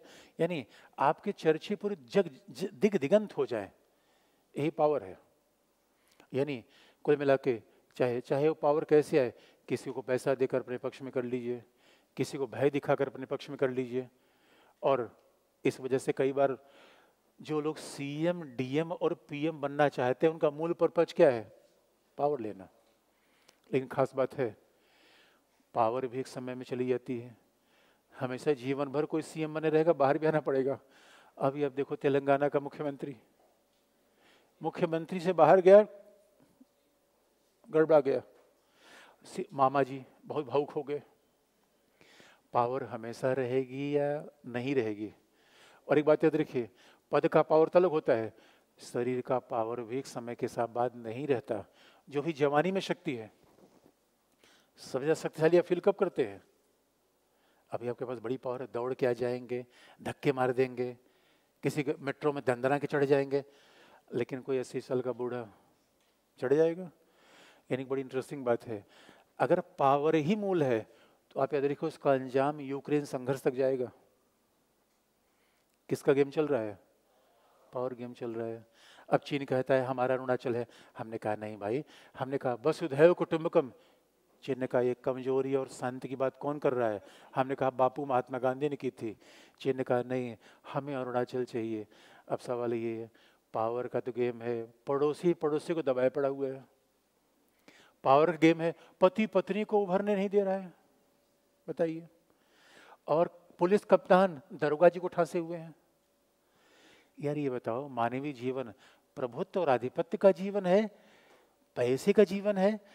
भाई, मानवीय जीवन के, अब यही प्लेटो के समय से अच्छा यही समस्या आज की है, कुछ और है? यही समस्या आज की है? अच्छा जिन लोगों ने एथिक्स पढ़ा होगा, यही डिबेट उसमें चलता है, कुछ और चलता है? यही डिबेट चलता है। यानी हमें एक विचार बनाना है। अब ये नहीं कि उन्होंने क्या कहा, उन्होंने क्या कहा, उन्होंने क्या कहा। यही डिबेट प्लेटो के समय चल रहा था। तो अब आप बताइए, पावर ज़्यादा इंपॉर्टेंट है या पैसा ज़्यादा इंपॉर्टेंट है? पावर के माध्यम से पैसा, लेकिन पावर एक ऐसा है जो हमेशा कोई छीनने में लगा हुआ है। इसलिए भी याद रखिए, एक बार यूपीए की सरकार थी, अमित शाह को खोपचे में लिया गया। और एक जब, और इस समय अमित शाह चुन चुन के और अभी अभी तो मैं किसी एक आम आदमी पार्टी से कार्यकर्ता से मिला, उनका, सर, मेरा भी नंबर आएगा, चिंता मत करो, हम एक एक करके देख लेंगे बहुत सही मेरा देखना सबको। एक समय में लालू यादव का बिहार में डंका बसता था, आजकल रोज ही ईडी बुला रही है, आ जाओ आ जाओ। ये बताओ दोस्तों, पावर हमेशा चलेगा क्या? इसका मानवीय जीवन कोई तीसरा भी तरीका हो सकता है, यही दो तरीके रहेंगे। दोनों तरीके भौतिकवादी हैं। और एक बात याद रखिए, अगर पावर ही मानव जीवन का मूल है, इसलिए आजकल युवा इससे आकर्षित बहुत होता है। युवा इससे आकर्षित, ये जवानी में लोग इससे आकर्षित कम होते हैं, इससे ज़्यादा होते हैं। क्यों? ये जिम कई बार बच्चे, कई बार बच्चे सो से मिलते हैं। सर गुड मॉर्निंग ये हम का ये हमने कहा दिखा क्या रहे हो? उनका बहुत सही है। आजकल लोगों में फितूर चढ़ा हुआ है सिक्स पैक बनाने का पावर अब विराट कोहली टैटू पावर कई कई बार लोग होते ना कि पुतिन पुतिन शर्ट उठने सलमान खान। मतलब भाई, शर्ट निकालने क्या मतलब है? और एक बात याद रखिए बस, इन सबको बस एक बार बता दिया जाए, आप जितने जिम जाके पावर बनाते हो, किसी जानवर के पास चले जाना, जानवर ज़्यादा पावरफुल है। जानवर ज़्यादा सुख लेता है या हम? अच्छा आप कित, कितने किलो रसगुल्ले खा सकते हैं? मैं मुफ़्त में खिलाऊँगा। कोई भी मेरा बच्चा दावा करे कितना किलो रसगुल्ला खा सकता है वो? चलो मैं तो आधा किलो बताया। किसी भी जानवर को अगर खिला दिया जाए इसे ज़्यादा खा लेगा कम खा लेगा? कमाल की बात है यार। ऐसा नहीं लग रहा है। पैदा हुए थे मानव बन के जीना शुरू कर दिया पशु बन के किसके चक्कर में पड़ गए दोस्तों? सुख पाने के चक्कर में जन्म हुआ दुखदाई। दुख ही मिल रहा है, क्यों? पावर एक ऐसा गेम है। किसी, अब, अभी तो आपको क्या लगता होगा? नहीं सर आईएस बन जाना बहुत, आप एक बात याद रखिए आइए डीएम साहब, सुबह हुआ नहीं, सीएम ने फ़ोन लगा दिया। क्या कर रहे हो? प्रोजेक्ट पूरा हुआ? Yes sir yes sir yes sir yes sir. उसके बाद डीएम उठाएगा फ़ोन एसडीएम के ऐसी के तैसी, ये प्रोजेक्ट पूरा हुआ? Yes sir yes sir SDM phone उठाएगा तहसीलदार को, नाप दूँगा मैं। नौकरी से बर्खास्त करूँगा। डीएम साहब का फ़ोन है। इतना दबाव रहता है। वो उसको ठांस रहा है, उसको ठांस रहा है। और भाई, एक का फ्रस्ट्रेशन दूसरे पे निकलेगा। यार, ये बताओ, ये तो जंगल का नियम है। शेर बकरी खा जा रहा है, बकरी घास खा जा रही है। घास किसको खाए, पता नहीं है। अजीब सा जीवन नहीं, ये मेरे बच्चे प्यारे बच्चों बताओ, किस लिए इस दुनिया में आए थे? पावर पाने सुख पाने तो याद रखो, पशु जितना खा पी सकता है, पूरे मोहल्ले खाना हाथी खा सकता है। आप सोचते हो कि दो चार रसगुल्ले खा के हम सुखी हो गए, हाथी को पूरा दुकान खिला दो, खा जाएगा। और इधर पावर, सबसे horse power power human being में नहीं ना पा जाता हॉर्स में ना पा जाता है। अरे मेरे दोस्तों, मानव जीवन का मूल उद्देश्य क्या है? भटकाव हो रहा है या नहीं हो रहा है? अगर यही मानव जीवन का मूल उद्देश्य तो एक बात रखना कि हम पशु से बिल्कुल भी अलग नहीं है, क्योंकि ये दोनों चीज़ पशु में है, ज़्यादा है। आप सोचते हो कि कई लोग कहते हैं, विवाह करके बहुत सुख मिलता है तो पशु पता नहीं, दस, पंद्रह, बीस विवाह करता है चलते चलते विवाह कर लेता है पशु तो। विवाह कर लेता है। अरे शेर से ज़्यादा पावरफुल कोई होता है क्या? मज वेल से बड़ी कोई जीवन में है? आप लंबाई चौड़ाई नाप लीजिए अपनी और वेल से कंपैरिजन कर लीजिए। ये गलत फहमियाँ हैं बच्चों। जो इस सोफिस्ट ने बढ़ा दी, और इसी सोफिस्ट की टेंडेंसी को आधुनिक भौतिकवाद ने बढ़ा दिया। इसी का परिणाम क्या है? यूक्रेन संघर्ष से कर, हिटलर, मुसोलनी, सब इसी का परिणाम तो है।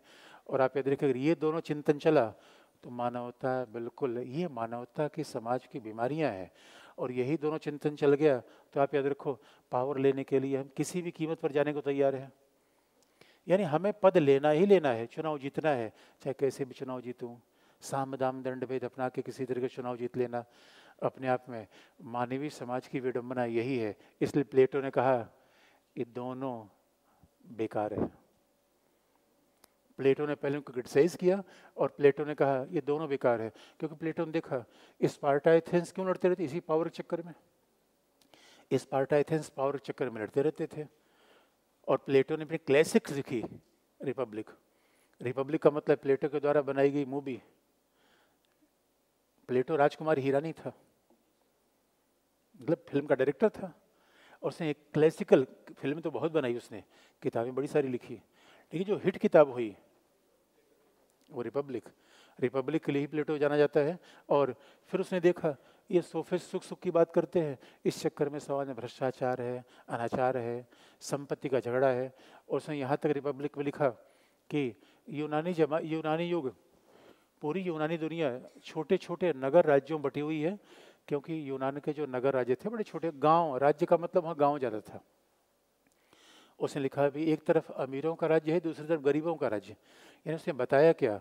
यूनानी में गरीबी है, विषमता है, और इस गरीबी विषमता के बावजूद ये आपस में लड़ते रहते हैं, भ्रष्टाचार चरम पर है, और जो शासन करने वाले लोग हैं, वही नहीं जानते कि समाज का सत्य क्या है, मूल तत्व क्या है, जीवन का मूल मर्म क्या है। इसलिए अब प्लेटो का जवाब सुनिए। अब प्लेटो ने क्या कहा कि जीवन का मूल मर्म क्या है? और यही पूरी नैतिकता का सारांश है। पूरे इथिक्स में आप पढ़ लीजिए तो प्लेटो ने कहा कि भाई, मानवीय जीवन का मूल उद्देश्य क्या है?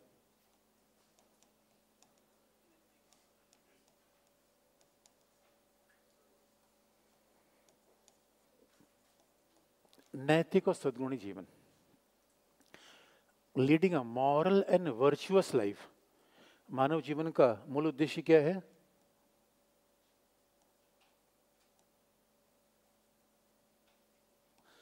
मॉरल एंड वर्चुअस लाइफ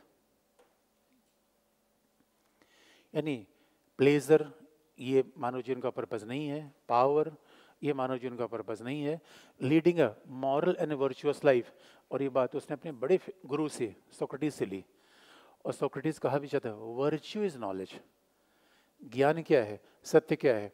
और इस चक्कर में तो प्लेटो ने परंपरा को, क्योंकि पहले जब ज्ञान के लोग खोज करते थे, कुछ लोगों ने कह रखा था कि वायु ही सत्य है। जब लोग सत्य की तलाश में थे, सत्य का मतलब सृष्टि का सत्य क्या है?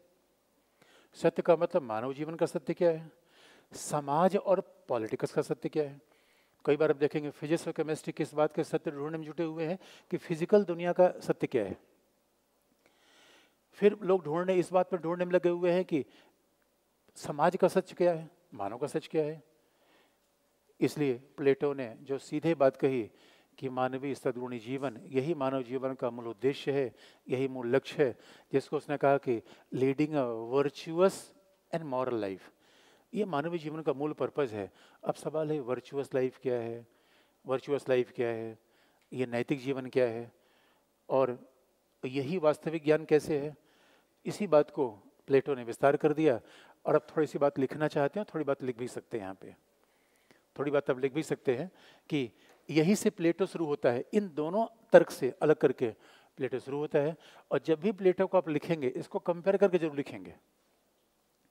कंपैरिजन जब तक आप कंपैरिजन नहीं करेंगे विशेषण नहीं आएगा। मानवीय जीवन का महत्व क्या है? ये दो धाराएँ आप देख लीजिए। दो धाराएँ कुल मिलाकर सोफिस्ट की है। और और प्लेटो ने तो बाकायदा कहा, जो बात सोक्रेटिस उसने ली, जब तक मानव जीवन की फिलोसफी हम नहीं समझ पाएँगे, तब तक कैसे समझ पाएँगे, राज्य कैसे बनेगा, समाज कैसे बनेगा? मगर हमें क्या बनाना है? क्योंकि हम पॉलिटिकल साइंस के उद्देश्य स्टूडेंट हैं, अभी तक आपको बात ऐसी लगी होगी कि यार हमने तो सुना था पॉलिटिकल साइंस में राज्य की बात होती है, सरकार की बात होती है। यहाँ तो सर पता नहीं, नैतिकता में लेके चले गए। लेकिन आप याद रखिए, राज्य समाज में मानव ही तो रहेगा। राज्य समाज में मानव ही तो रहेगा ना? तो बिना मानव को समझे राज समाज का निर्माण कर लेंगे हम। नहीं कर पाएँगे। और इसीलिए बात ध्यान में रखिए, नैतिक सदगुण जीवन के बारे में जो प्लेटो ने कहा अच्छा आज भी समाज का आदर्श यही है या ये ये है? दूसरी बात, ये है या होना चाहिए? बड़ी इंटरेस्टिंग बात है ये। आज भी मैं एक पुलिस स्टेशन में गया, लिखा था सदा सत्य बोलना चाहिए। और वहीं दरोगा जी निर्दोष आदमी कूट रहे थे। हमने कहा, दरोगा जी लिखा हुआ है सदा सत्य बोलना चाहिए। उनका वो लिखी हुई बात है, इधर बात व्यवहारिक है। हकीकत की बात है, चाहिए और है में फ़र्क है। जो हम देख रहे हैं वो तो ये ये दुनिया है। जो हम देख रहे हैं वो दुनिया या तो इधर की है, या तो इधर की है। क्योंकि आजकल जो देखने वाले बच्चे किस बात से आकर्षित होते हैं? हार्ले डेविडसन से। अच्छा युवा अवस्था में किस बात से आकर्षित हो? किसी को बड़ी सी कार है जगुआर। लेकिन सवाल है, चाहिए चाहिए का मतलब ज़्यादा या है का? इसे नैतिकता में किस बात की बात होती है? चाहिए। क्या होना चाहिए? क्योंकि याद रखिए दोस्तों, जो हो रहा है, वही सोचो ज़रूर नहीं है। और यही फिलोसफर काम है कि मानवता के लिए, ये फिलोसफर काम क्या है? सोक्रेटिस। फिलोसफर काम क्या है? सोक्रेटिस लालटेन लेके घूमता था? पूरी पूरी दोपहरी में। पूरी दो तो लोगों ने कहा पागल हो गया है क्या है सोक्रेटिस? लालटेन लेकर घूम रहा है। तो सोक्रेटिस से पूछा गया, अरे भाई, क्यों लॉल्टेन लेकर घूम रहे हो? उनका एक अच्छे मानव की तलाश में हूँ। यही प्लेटो के प्लेटो के पूरे जीवन का मूल थीम क्या है? आप याद रखिए, आज अच्छा डॉक्टर है अच्छा टीचर है अच्छा म्यूजिशियन है। सब लोग अच्छे हो गए हैं। क्या इस पृथ्वी से मिसिंग क्या लुप्त प्राय प्राणी हो गया है? अच्छा मानव। यही बताइए, आपको अच्छा मानव बनना है शक्तिशाली मानव बनना है? धीरे से धीरे से, आवाज़ धीमे क्यों हो गई? अच्छा बताइए, यही फ़ोन करके घर बोल देंगे कि सर ने बता दिया है जीवन की फिलोसफी आज। और प्लेटो ने कह दिया अच्छा मानव बनना है। अच्छा मानव बनना है, ये शक्तिशाली नहीं तब तब घर वाले क्या कहेंगे? मेरे पुत्र, आ जाओ। आ जाओ, तुम अच्छा मानो, हम इधर तुमको बना देंगे। बिला वजह पैसा मत खर्च करो। घर वाले भी पैसा दे रहे हैं, आपकी उम्मीद से कि आज बेटा बड़ा हो जाएगा, बेटी बड़ी हो कल मुझे भी सहारा देगी। बड़ी विवाद की दुनिया ये है। आज पूरी मानवता की सभ्यता का संकट ये है कि अगर हम मानवता का क्राइसिस का समाधान चाहते हैं, एक ही समाधान है, अच्छे मानव का निर्माण। लेकिन हम आर्टिफिशियल इंटेलिजेंस चला रहे हैं। हमारे पास कोई समाधान पूछ है समाज की समस्याओं का समाधान बताओ। हम कहा, विधि का शासन पुलिस स्टेशन और बढ़ा दो, सीसीटीवी कैमरे और लगा दो। अरे, सब कुछ लगा दो अब। अपराध बढ़ रहा है, घट रहा है। भ्रष्टाचार बढ़ रहा है, घट रहा है। अच्छा कानून ज़्यादा है, कम है? कमाल की बात है। कानून ज़्यादा बना लिया, पुलिस का भय दिखा लिया, सीसीटीवी कैमरा लगा दिया, उसके बाद भी समस्याएँ क्यों आ रही हैं? किस बात की क्राइसिस है? अच्छे मानव की। यही, यहीं से प्लेटो की थीम शुरू होती है। लेकिन क्या अच्छा मानव अकेले रहेगा क्या? समाज में तो रहेगा। तो अच्छा मानव बनाऊँ या अच्छा राज्य समाज ही बनाऊँ? यही प्लेटो का चिंतन है। तो कैसे प्लेटो की शुरुआत होती है? थोड़ा लिख लीजिए। कुछ पूछना है? क्या? क्या बढ़ रही है? हाँ।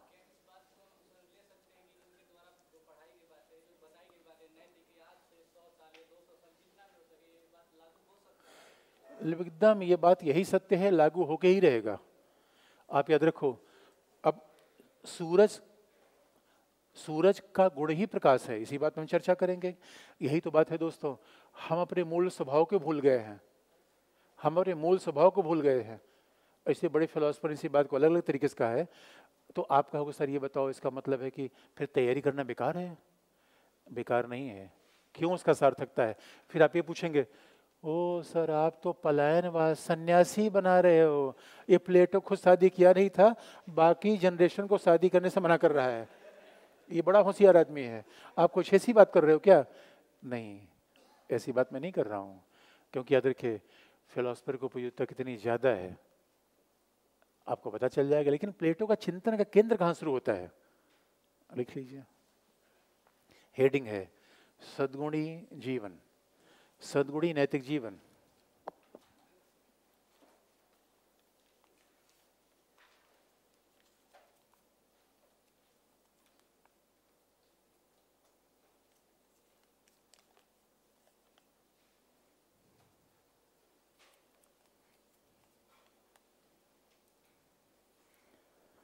सदगुणी नैतिक जीवन पहला पॉइंट।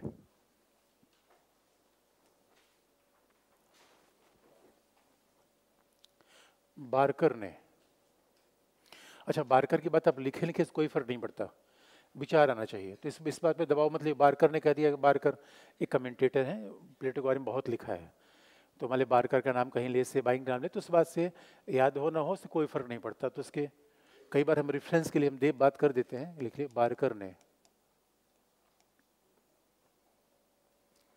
बारकर ने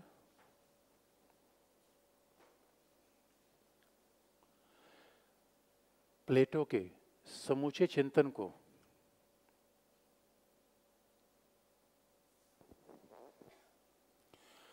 बारकर ने प्लेटो के, समूचे चिंतन को।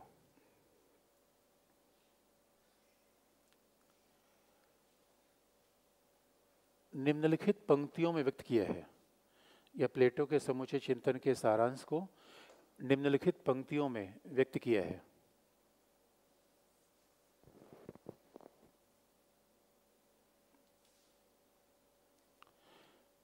बारकर ने प्लेटो के समूचे चिंतन के सारांश को निम्नलिखित पंक्तियों में व्यक्त किया है। पहला पॉइंट, यानी पूरी रिपब्लिक पढ़ जाइए, उसको तीन पॉइंट में हम लिख सकते हैं। सारांश यही है, पहला पॉइंट, एक अच्छे सद्गुणी, एक अच्छे सद्गुणी नैतिक व्यक्ति का निर्माण।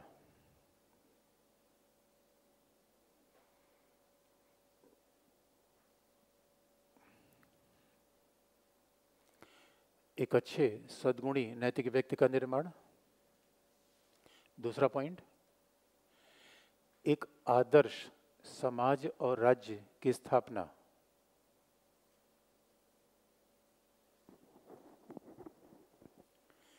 एक आदर्श समाज और राज्य की स्थापना।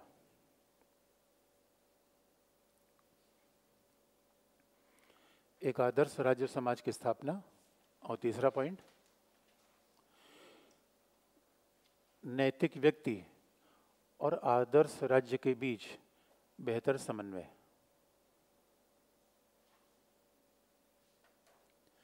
नैतिक व्यक्ति और आदर्श राज्य के बीच बेहतर समन्वय।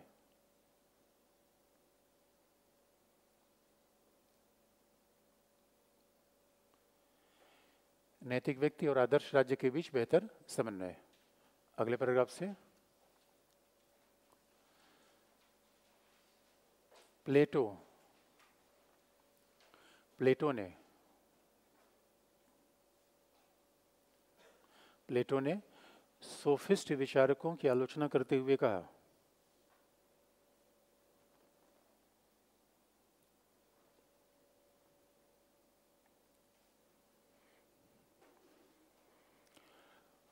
प्लेटो ने सोफिस्ट विचारकों की आलोचना करते हुए कहा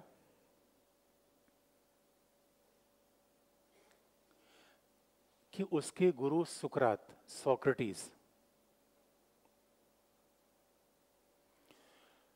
उसके गुरु सुकरात का यह कथन वास्तविक है। सोफिस्ट की आलोचना करते हुए कहा, उसके गुरु सुकरात का यह कथन वास्तविक है। कि सदगुण ही ज्ञान है। उसके गुरु सोक्रेटिस का यह कथन वास्तविक है कि सद्गुण ही ज्ञान है। सद्गुण ही ज्ञान है। सद्गुण का आशय वर्च्यू सद्गुण का आशय। प्रत्येक वस्तु या पदार्थ का विशेष गुण या विशेष लक्षण है। सद्गुण का से विशेष प्रत्येक पदार्थ का विशेष गुण या लक्षण है।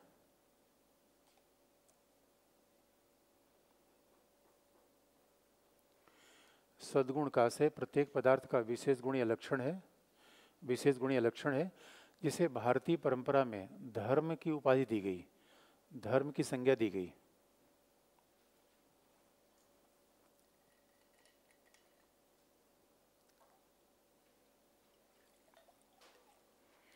जिसे भारतीय परंपरा में धर्म की संज्ञा दी गई। जिसके अनुसार प्रकृति में विद्यमान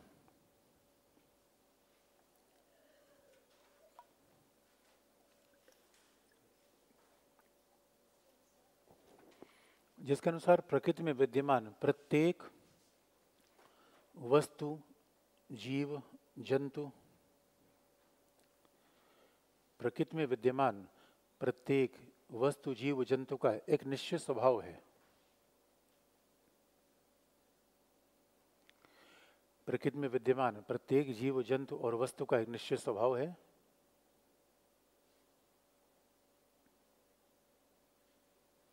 जैसे अग्नि का अग्नि का मूल स्वभाव दाहकता है, यानी गर्मी पैदा करना।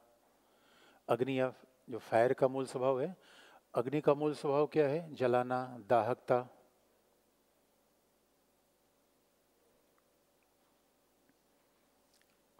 अग्नि का मूल स्वभाव दाहकता।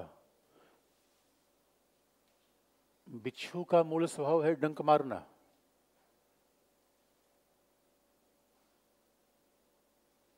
बिच्छू का मूल स्वभाव डंक मारना। बिच्छू का मूल स्वभाव डंक मारना। अब वैसे सबका एग्ज़ाम्पल आप दे सकते हैं, सबका वर्च्यू है। अब वर्च्यू का मतलब क्या होता है? सदगुण का मतलब एक्सीलेंस सदगुण यूनानी भाषा का शब्द है कि इसका हिंदी, इंग्लिश में कोई अनुवाद लेंगे, उत्कृष्टता। हर वस्तु का, हर पदार्थ का एक विशेष गुण है। अगर वो विशेष गुण वहाँ से हटा दिया जाए, वो पदार्थ ही खत्म हो जाएगा। इसे कहते हैं इसेंस इसेंस का मतलब है, सूरज में रोशनी न रहे तो सूरज किस बात का? चंद्रमा का इसेंस क्या है? शीतलता। पानी का इसेंस क्या है? तरलता। बर्फ़ का इसेंस क्या है? ठंडापन। दुनिया में हर चीज़ का इसेंस है और आपने स्वेटर पहना है और आपको ठंडी लगने लगे, पहनेंगे, उठा के फेंक देंगे। लाइट का इसेंस क्या है? प्रकाशित करना। पेन का इसेंस क्या है? लिखना। दुनिया में जितने वस्तु हैं, पदार्थ हैं, सबका एक इसेंस है। सबका एक मूल स्वभाव है। अगर वो मूल स्वभाव से हट गया तो अपने आप में उसका, अपने आप में खात्मा हो जाएगा। इसलिए कहा भी जाता है कि जो दार्शनिक होता है, उसी वस्तु के इसेंस पे ध्यान देता है कि हर चीज़ का इसेंस क्या है। तो सवाल ये है, हमें ये तो पता हो गया सूर्य का इसेंस क्या है, पेन का इसेंस क्या है। चाकू चाकू अप्लाई हो, काट नहीं रहा है। चाकू का इसेंस क्या है? काटना। चाकू की उत्कृष्टता क्या है? काटना। घोड़े की उत्कृष्टता क्या है? दौड़ना। हर दुनिया में हर चीज़ की एक इसेंस है। जैसे इसे जब भारतीय परंपरा में इसे धर्म कहा गया, धर्म का मतलब क्या है? स्वभाव, गुण, विशेषता। तो सवाल यह है, हमने दुनिया में हर चीज़ के इसेंस को समझ लिया?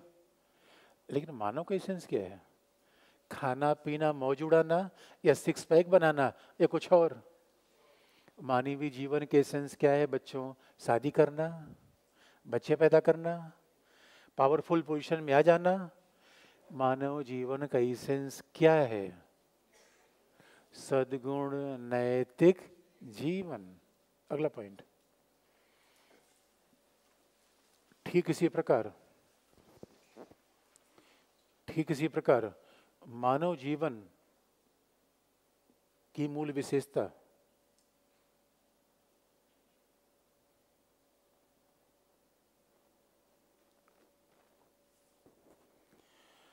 मानव जीवन की मूल विशेषता नैतिक सद्गुणी जीवन का यापन है। मानव जीवन की मूल विशेषता नैतिक सद्गुणी जीवन का यापन है।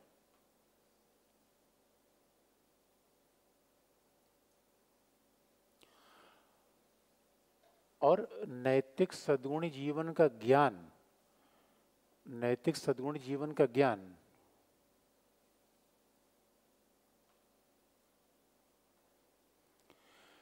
नैतिक सद्गुण जीवन का ज्ञान ही पर्याप्त नहीं है।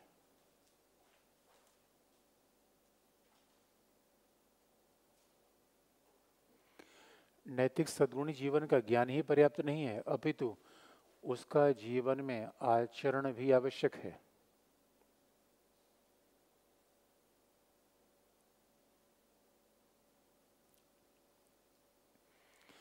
नैतिक सद्गुण जीवन का ज्ञान ही पर्याप्त नहीं है अपितु उसका जीवन में आचरण भी आवश्यक है। आचरण यानी उसका जीवन में व्यवहार करना प्रयोग करना।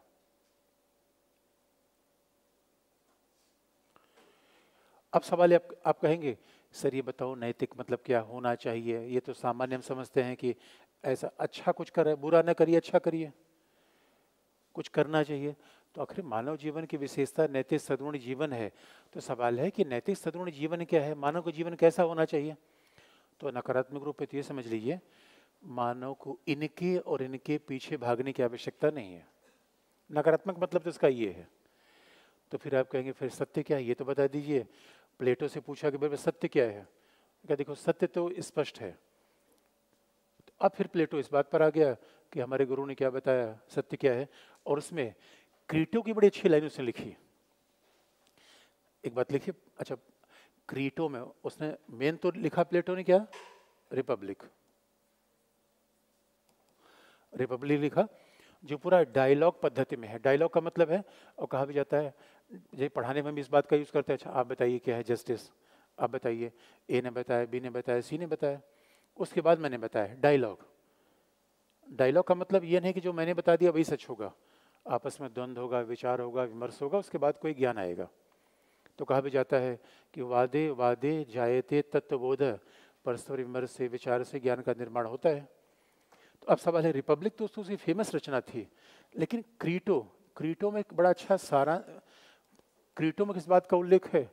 एक बड़ी महत्वपूर्ण बात का उल्लेख उसने किया जैसे ये पता चल जाता है कि कैसे अपने गुरु से प्रभावित है और क्यों उसकी बात को इतना ज़्यादा मान रहा है वो। एक लाइन लिख लीजिए इसी में।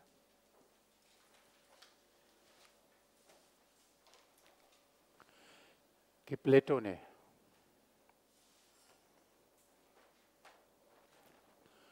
प्लेटो ने, क्रीटो में C R I T O Crito. Plato ने क्रीटो में,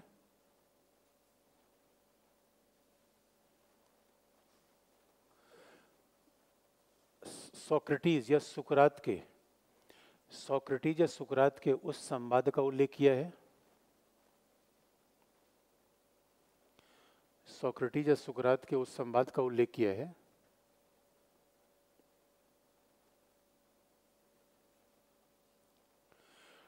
सोक्रेटिस जो संवाद, सुकरात के उस संवाद का उल्लेख किया है, जिसमें जिसमें उसे जहर देने के बाद, जिसमें उसे जहर देने के बाद, जहर देने के बाद सुकरात ने मृत्यु का चयन किया, लेकिन भागने के विकल्प को स्वीकार नहीं किया। उसे जहर देने के बाद सुकरात ने मृत्यु का चयन किया, लेकिन भागने के विकल्प को स्वीकार नहीं किया।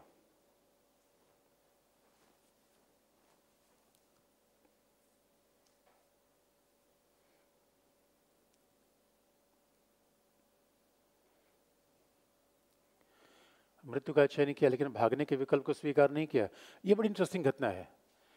इस इस, इसका प्लेटो के जीवन पर बड़ा प्रभाव है, क्योंकि सुकरात के ऊपर उसके राजा महाराजाओं ने आरोप लगा दिया था कि वो देशद्रोह फैला रहा है। वह युवाओं को ऐसी शिक्षा दे रहा है जिससे युवा भटक रहा है। उसके पर आरोप तय किए गए और वहाँ के प्रशासक ने कह दिया कि ऐसा तुम्हारे पास दो विकल्प है, या तो तुम्हें डेथ पेनल्टी मिलेगी, जहर पीना पड़ेगा, या तुम एक और कर सकते हो, एथेंस से चले जाओ। एथेंस से चले जाओ, हम तो माफ़ कर देंगे। सुकरात ने कहा, एथेंस से मैं जाऊँगा नहीं। प्लेटो बहुत दुखी था। प्लेटो प्लेटो ने कहा भी था कि यार, इतना बड़ा फिलोसफर, ये राजा इतना बड़ा मूर्ख है, ये कहा जाता है, इस घटना का प्लेटो के जीवन पर बड़ा प्रभाव पड़ा।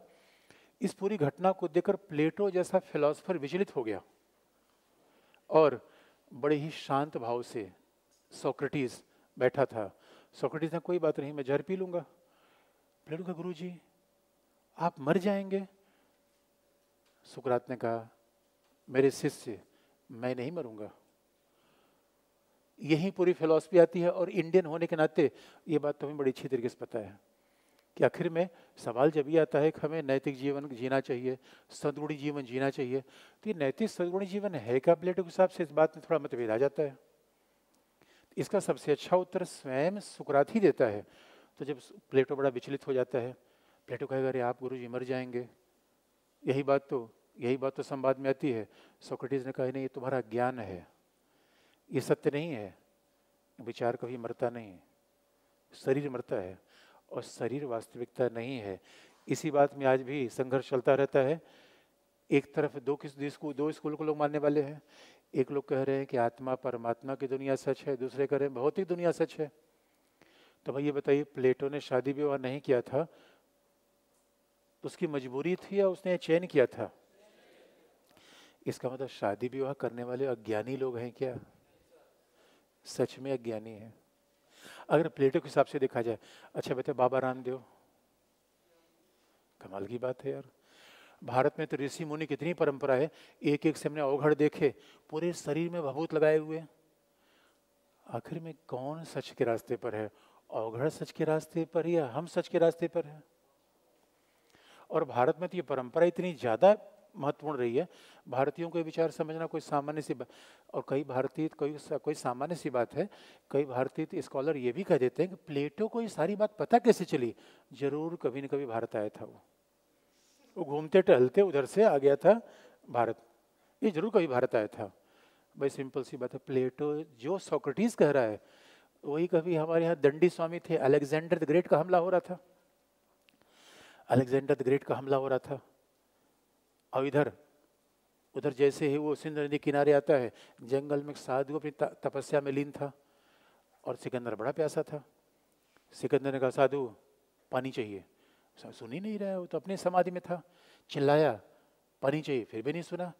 अचानक घोड़े से कूद गया और बहुत तेज चिल्लाया। साधु की ध्यान टूट गया। क्या है? अगर तुम जानते मैं सिकंदर हो, अगर जानने की कोई ज़रूरत नहीं है। सिकंद, तुम्हें यह भी नहीं पता मैंने पूरी दुनिया जीत ली है? तो पूरी दुनिया जीत के करो क्या? कमाल की बात है। कितने एग्ज़ाम्पल हमारे पास उसके बाद जब कुछ ने कहा कि मैं तुम, तलवार से मैं तुम्हारा सर धड़ से अलग कर दूँगा। उसने मुस्कुरा कर कहा, ये शरीर तो सच है ही नहीं है। इसको तुम कहाँ अलग कर दोगे? सिकंदर भाव चक्कर है। उसके अंदर कहा, यार, ये ये पागल आदमी है क्या? ये बताइए, पागल कौन है और ज्ञानी कौन है बच्चों? ये परंपराएँ कितनी बार आती? गौतम बुद्ध। गौतम बुद्ध जंगल में जा रहे थे। अंगुली माल लोगों कहा अंगुली माल है वहाँ, पेड़ बैठा हुआ, अंगुलियाँ काट लेता है। गौतम बुद्ध ने मुस्कुरा दिया। अंगुलियाँ काट लेता है फिर चले गए बीच में, किसी की नहीं सुना। कहा यार ये पागल है, शरीर की चिंता नहीं कर, मरेगा ये। खास बात है, आपको पता है, जीवन में सबसे बड़ा भय किस बात का होता है? मरने का। और सत्य जो सत्य जानता है उसी से डरता नहीं। जीवन में सबसे बड़ा भय मरने का है। और एक बात याद रखिए जितने तथाकथित पावरफुल लोग हैं सब डरपोक लोग हैं। जितने सुखवादी लोग हैं एक बार दो दो किलो रसगुल्ला खाएँगे उसके बाद फिर पेट इनका फूल जाएगा। आ, आ, फिर प्रॉब्लम करेंगे। और ये जो सत्यवादी यहाँ पे देखिए, ये सब डरते रहते हैं, सिंहासन जाने के भय से। डर बड़ी होती है दुनिया में। भौतिक दुनिया का आदमी डरे नहीं, ऐसा हो ही नहीं सकता। सन्यासी डर जाए, वो सन्यासी नहीं है। जिसको खोने का डर होगा, जिसको कुछ खोना होगा, वही डरेगा। और खोने वाली चीज़ भौतिक दुनिया की है। इसी बात में, और चूँकि प्लेटो ने बार बार द्वंदात्मक पद्धति का उपयोग किया, उपमा का उपयोग किया है तो प्लेटो ने प्लेटो ने बार बार फिर ये बताया, प्लेट प्लेटो कहा, भाई, ये तो बताओ नैतिक सदगुणी जीवन क्या है? तो प्लेटो कहा पहले ये समझ लो कि देखो, जीवन के दो तत्व हैं। अगर नैतिक सदगुणी जीवन, नैतिक जीवन हमें जीना है, सदगुणी जीवन जीना है, मॉरल वर्चुअस लाइफ जीनी है, ये तो समझ लिया जाए, जीवन के दो तत्व हैं। पहला, जीवन का जो पहला है वो शरीर है, बॉडी है। कि मॉरल वर्चुअस लाइफ में अगर हमें समझना है तो ये तो आप याद रखिए फिलोसफर की खास बात है, पहले वो अपने को जानने का प्रयास करते हैं, बाद में दुनिया को जानने का प्रयास करते हैं। अपने को जान लीजिए, एक हमारे पास शरीर है, दूसरी हमारे पास क्या है? आत्मा है सोल है। अब यही लफड़ा फंस जाता है। जो भौतिकवादी लोग हैं, सांसारिक लोग हैं, वो कहते हैं, नहीं, आत्मा नहीं है, आत्मा ही नहीं है। अब आत्मा कोई वस्तु तो है नहीं दोस्तों। मैं आपको आत्मा राम को दिखा सकता हूँ। आत्मा को नहीं दिख सकता था। आज तक किसने देखा वो नहीं बता पाया। अब मान लीजिए आप पूछेंगे, सर, ये बताओ, आत्मा का, आत्मा की लंबाई कितनी है? चौड़ाई कितनी है? आत्मा का वज़न कितना है? रंग कैसा है? आकार कैसा है? मैं कुछ भी नहीं बता सकता। क्योंकि आत्मा वस्तु है या विचार? दिखता क्या है? क्या सच है? जो दिखता है या जो नहीं दिखता? ये तो प्लेटो ने बताने का प्रयास किया है। अगर हम नैतिक सदगुणी जीवन को समझना चाहते हैं तो ये समझ लो दोस्तों, बिला वजह जो फेयर एंड लवली खत्म कर रहे हो। अच्छा शरीर सच है, आत्मा? भौतिकवादी क्या कहेंगे? शरीर। लेकिन एक बात याद रखो, जो सच है, बचपन की फ़ोटो देखने में ज़्यादा अच्छी लग रही है, अभी की? क्यों? बाल सफ़ेद हो गया बहुत ख़राब लगता है ये सब ये सब। बहुत ख़राब लगता है। और जब बचपन की फ़ोटो देखते हैं क्या बाल थे। बाल ख़त्म हो गए धीरे धीरे बाल सफ़ेद हो गया। ये बताओ शरीर लगातार डिक्लाइन कर रही है। हमें आभास नहीं हो रहा है। बार बार मैं तो अभी एक, कहीं बाल कटाने गया था। एक बूढ़ा आदमी अस्सी साल का आईब्रो बनवा रहा था अपना। मैंने कहा प्लेटो प्लेटो, तुम्हारे विचारों की हत्या हो रही है। जरा बूढ़े को समझाओ। प्लेटो ने कहा, ये नादान व्यक्ति, ये शरीर को ही सही मानता है। एक खास बात है, यही तो जीवन का संघर्ष है। कुछ लोग मानते हैं कि सत्य ये नहीं है, शरीर नहीं है। आपके अंदर कैसी बात करते हो? सत्य जो दिख रहा है वो सच नहीं है। परछाई है, सच नहीं है। हमारी परछाई दिखती है, सच हो जाती है। और एक बात याद रखिए समय समय पर कई चीज़ दिखती है, वो सत्य नहीं होती। जैसे कि किसी कल बर्थडे था, किसी बच्चे का बर्थडे था तो मैंने पूछा, क्या चाहिए? उसने कहा, द्रोण चाहिए। हम कहा, द्रोण का मतलब? उनका जो आर्मी के पास होता है। हम कहा, भाई, आर्मी वाला द्रोण तो नहीं है छोटा मोटा द्रोण दे देंगे। तो किसी बच्चे को क्या चाहिए होता है बर्थडे में? खिलौना। खिलौना चाहिए होता है। उसके लिए वही सच है। उसको खिलौना भौतिक है या आत्मा है। भौतिक है। बच्चे के लिए वही खिलौना सच है, उसी वही दुनिया सच है। और जब बच्चे को गिफ्ट में दे दिया, हमने कहा, वैसे तुम्हारा गिफ्ट बड़ा अच्छा है, मुझे भी दे सकती हो। कहा, नहीं नहीं अमेजोन पे मिलता है, ऑर्डर कर देना, तुम्हारे पास आ जाएगा, उसको ये पता है। अपना चीज़ देना नहीं चाहता। तो सवाल ये है, सवाल ये है, अगर यही शरीर सच होता, कोई मरता नहीं। सत्य क्या है? जो स्थायी रहता है जो नित्य बदलता रहता है। ये बताइए फूल देखने में बहुत अच्छा लग जाता है एक दिन मुरझा जाता है। अब, अब मैं ये बात नहीं कहूँगा आप बहुत दुखी हो जाएँगे लेकिन वास्तविकता ये है एक दिन ना आप रहेंगे ना मैं रहूँगा इस दुनिया में ये दुनिया यहीं रहेगी। और जितनी चीज़ें हमने इकट्ठा कर रखे सब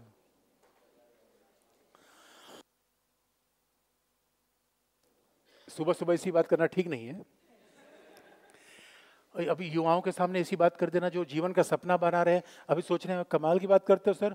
अभी तो मैंने सोचा था, भाई, बैंड बैंड बजेगा देश से वीर जवानों का। और आप ऐसी ऐसी बातें कर रहे हो। मैं ऐसा विषय नहीं पढ़ने वाला हूँ। एक बात याद रखिए, फिलोसफी में तो पढ़ेंगे ही। अरे इथिक्स में तो पढ़ना ही पड़ेगा बच्चों। इसे हकीकत से भागोगे कब तक? एक एक मूवी बड़ी अच्छी आई थी, सन्यासी। सन्यासी में सन्यासियों एक एक एक नायिका का बड़ा संघर्ष था। सन्यासी दुनिया से भाग रहा था। तो फिलोसफर दुनिया से भागता नहीं।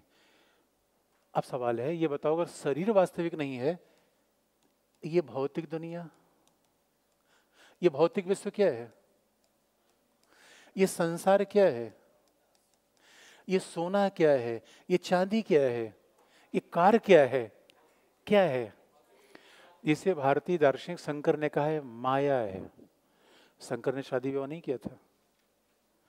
जितने मुझे तो ये सब पढ़ के पता चला कि हम लोग बेवकूफ़, एक नंबर के आला दर्जे के बेवकूफ़ है। जितने महान लोग हैं, वो शादी नहीं किए हैं। उसके बाद जितने मूर्ख हैं, क्या फिलोसफी बता रखा है? हर सफल पुरुष के पीछे एक महिला होती है। देखो कैसे गड़बड़ा दिया। मोदी जी, बहन जी, बाबा जी, योगी जी, कौन है? ज्ञानी लोग हैं। ये बताओ, राहुल बाबा? हेलो सक्सेस नहीं है। कमाल की बात करते हो। जिसकी हिमाचल में, कर्नाटका में, कांग्रेस की कहाँ कहाँ सरकार है? अरे, कांग्रेस एक हज़ार करोड़ की पार्टी, कैसी बात बच्चा करता है मेरा। लेकिन, अब लेकिन यही अब अब बच्चों देख लो, बात सी सिंपल सी है। ये बताओ, ये भौतिक दुनिया सच है? ये C M D M P M कागज़ की फूल की तरह दुनिया है। ये दुनिया ठीक वैसी है, हम लेने का प्रयास कर रहे हैं। पानी पे लकीर खींच के देखो, बालू को मुट्ठी में रखने का प्रयास करो, फिसल जाएगी। इसी दुनिया के पीछे हम पड़े हुए हैं, जो हमारा शरीर, लोग लोग कई बार बहुत भावनात्मक हो जाते हैं मेरे साथ नहीं दिया, साथ छोड़ गया। साथ शरीर ही साथ छोड़ देता है आपका तो उसको कंप्लेन कर रहे हैं उसको।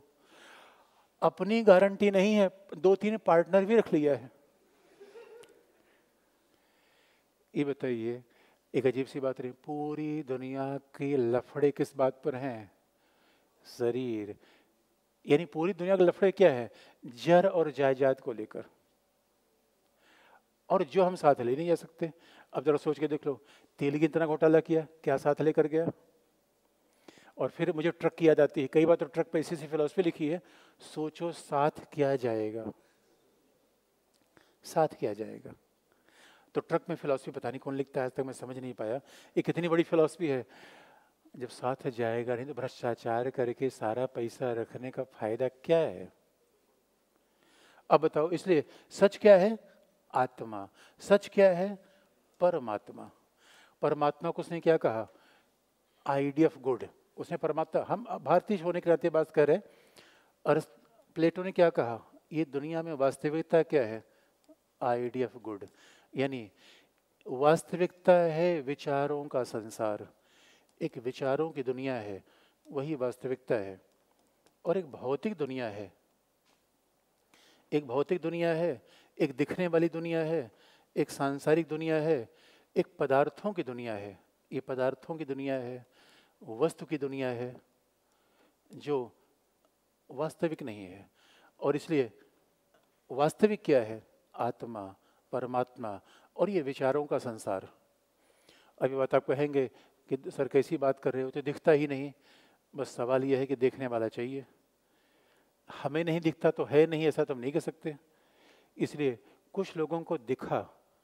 भाई, कुछ लोगों को दिखा, इसलिए कुछ लोग कहते हैं तीसरी आँख खोलो, हमारी दो आँख खुल रही है, तीसरी खुली नहीं रही है। तो इस इस आँखों से वास्तविकता दिखेगी या आत्मा की, अंतरात्मा की ज्योति से? इसलिए देखो, पहले ऋषि मुनि ऐसे देखे, तथास्तु तो किरण आती थी, तीसरी आँख खोल देती थी, और हम हम तो किरण के तलाश में हैं। कमाल की बात है। अरे भाई, जो तलाश करोगे वही तो मिलेगा। तो सीधी सी बात है। अगर वास्तविक दुनिया ये है तो हमें आत्मा के हिसाब से, परमात्मा के हिसाब से जीवन जीना चाहिए। इसलिए मान मामला सीधा सा है। हमें नैतिक सदगुणी जीवन क्यों जीना चाहिए? क्योंकि वास्तविकता यही है, सत्य ही है। अब इसी बात कहने को उसने, अब प्लेटो जैसा प्ले फिलोसफर था। तो फिलोसफर लोग क्या पहले लोग अपनी बात को कहने के लिए उपमा का प्रयोग करते थे? मेटाफर खूब यूज़ करते थे। जैसे जैसे आपने देखा होगा कि आप कहते हैं कि देवारसुर संग्राम, देवर असुरों का संग्राम कभी थोड़े हुआ। ये तो उपमा लगाई गई। सत्य और असत्य के बीच संघर्ष में ये उपमा है। सत्य, असत्य के बीच संघर्ष की उपमा है, ये देवासुर संग्राम। और प्लेटो का ये मतलब नहीं था अगर ये वास्तविकता है तो आप कहेंगे, सर, ये दुनिया छोड़ दें। ये दुनिया छोड़ दें, ये दुनिया बेकार है, इसकी आलोचना करें। प्लेटो ने कहा नहीं इस दुनिया से इतना अटैचमेंट नहीं रखना है। दुनिया में रहना और दुनिया में बध जाना दोनों बातें अलग अलग है। सन्यासी कौन है? जो दुनिया छोड़ के चला जाए या सांसारिकता से विरक्त हो जाए। संसार में रह के संसार से विरक्त हो जाना, ये इसलिए संन्यास है। इसे संन्यास क्या है? न कुछ मेरा है, न कुछ पराया है। संन्यास है। न कोई राजा है, न कोई रंग है। तो ये बताइए, जिस दिन ये विरक्ति आ जाएगी, और वैराग्य आ जाएगा, वैरागी, सन्यासी, वैरागी, कपड़े पहनने से कोई सन्यासी नहीं होता। मन से सन्यासी होता है। कबीर कबीर ने कहा भी था, मन न रगाए रगाए जोगी कपड़ा। तो मन से बैरागी कौन है, जिसका इस दुनिया के प्रति बहुत अटैचमेंट नहीं है? ये मिल जाए, ये मिल जाए, ये मिल जाए। लेकिन वो दुनिया से भाग नहीं रहा है, वो दुनिया में सक्रिय रूप में शामिल होकर मानवता की सेवा करेगा। सन्यासी का ये काम नहीं कि दुनिया से भाग जाए। उसका दुनिया से अटैचमेंट नहीं है, अनुराग नहीं है। और भौतिक आदमी का लक्षण क्या? अनुराग है शरीर से, रिश्तेदारों से। अदरवाइज़ जरा सोच के देखिए, परिवार छोड़ देना, सामान्य बात है क्या ये? कोई व्यक्ति परिवार छोड़ दे रहा है, असामान्य बात है। सामान्य व्यक्ति की बात बात नहीं है। और परिवार क्यों छोड़ दिया? वो कह रहे भाई भौतिक दुनिया वास्तविक नहीं है। उसने अपना परिवार छोड़ा है पूरी दुनिया को अपना परिवार मान लिया? अब बताइए, अगर जीवन में क्या आना चाहिए? वैराग्य। असली ज्ञान क्या है? पोथी पढ़ पढ़ जगमुआ। पंडित भया न कोई पोथी भौतिक है। पोथी भौतिक है। और फिजिक्स पढ़ रहे हो, केमिस्ट्री पढ़ रहे हो। ज्ञान फिजिक्स से आएगा? केमिस्ट्री से आएगा, आत्मा का ज्ञान आएगा। ज्ञान आत्मा में है। किताबों में रोड ढाई आखर प्रेम का। पढ़े से पंडित होए कहाँ से पढ़ोगे दोस्तों? यूनिवर्सिटी में जाके? इसलिए ज्ञानी होना, जो इस अंतर को देख ले कि भाई जिस दुनिया के लिए मारामारी हो रही है, वो तो हमारी दुनिया है ही नहीं है। तो अब जरा सोच के देखिए, अगर ये ज्ञान लोगों को हो जाए, लड़ाई किसके लिए हो रही है? लड़ाई इस बात पे हो जाती है मेरे कुर्सी पर तुम बैठ क्यों गए? ट्रेन में लड़ाई किस बात की होती है? मेरे सीट, मेरी सीट है। कमाल की बात है यार। अगले स्टेशन के बाद आपकी सीट रहेगी। जिस जिस घर को आप अपना मान रखे हो, वो सौ साल पहले किसी और का था। अगली बार किसी और को ट्रांसफ़र हो जाएगा। आप उसके मालिक हो या ट्रस्टी हो? ट्रस्टी हो। ये शरीर भगवान ने दिया हुआ है। आप उसके मालिक नहीं हो। इसलिए इस दुनिया में आए हो, सत्य, अहिंसा, प्रेम और मानवता की भलाई के लिए। इसलिए सन्यासी कौन है जो जीवन छोड़ देगा या मानवता के भलाई के लिए काम करेगा? इसलिए वैराग्य होना। और हमारे यहाँ तो बड़ी इंटरेस्टिंग बात कही गई है। हमारे तो ये तक कहा गया है। अब कहीं कभी मैं कि ज्योतिषी ज्योतिषी के विद्वान से मिला तो उन्होंने एक बड़ी अच्छी बात कही।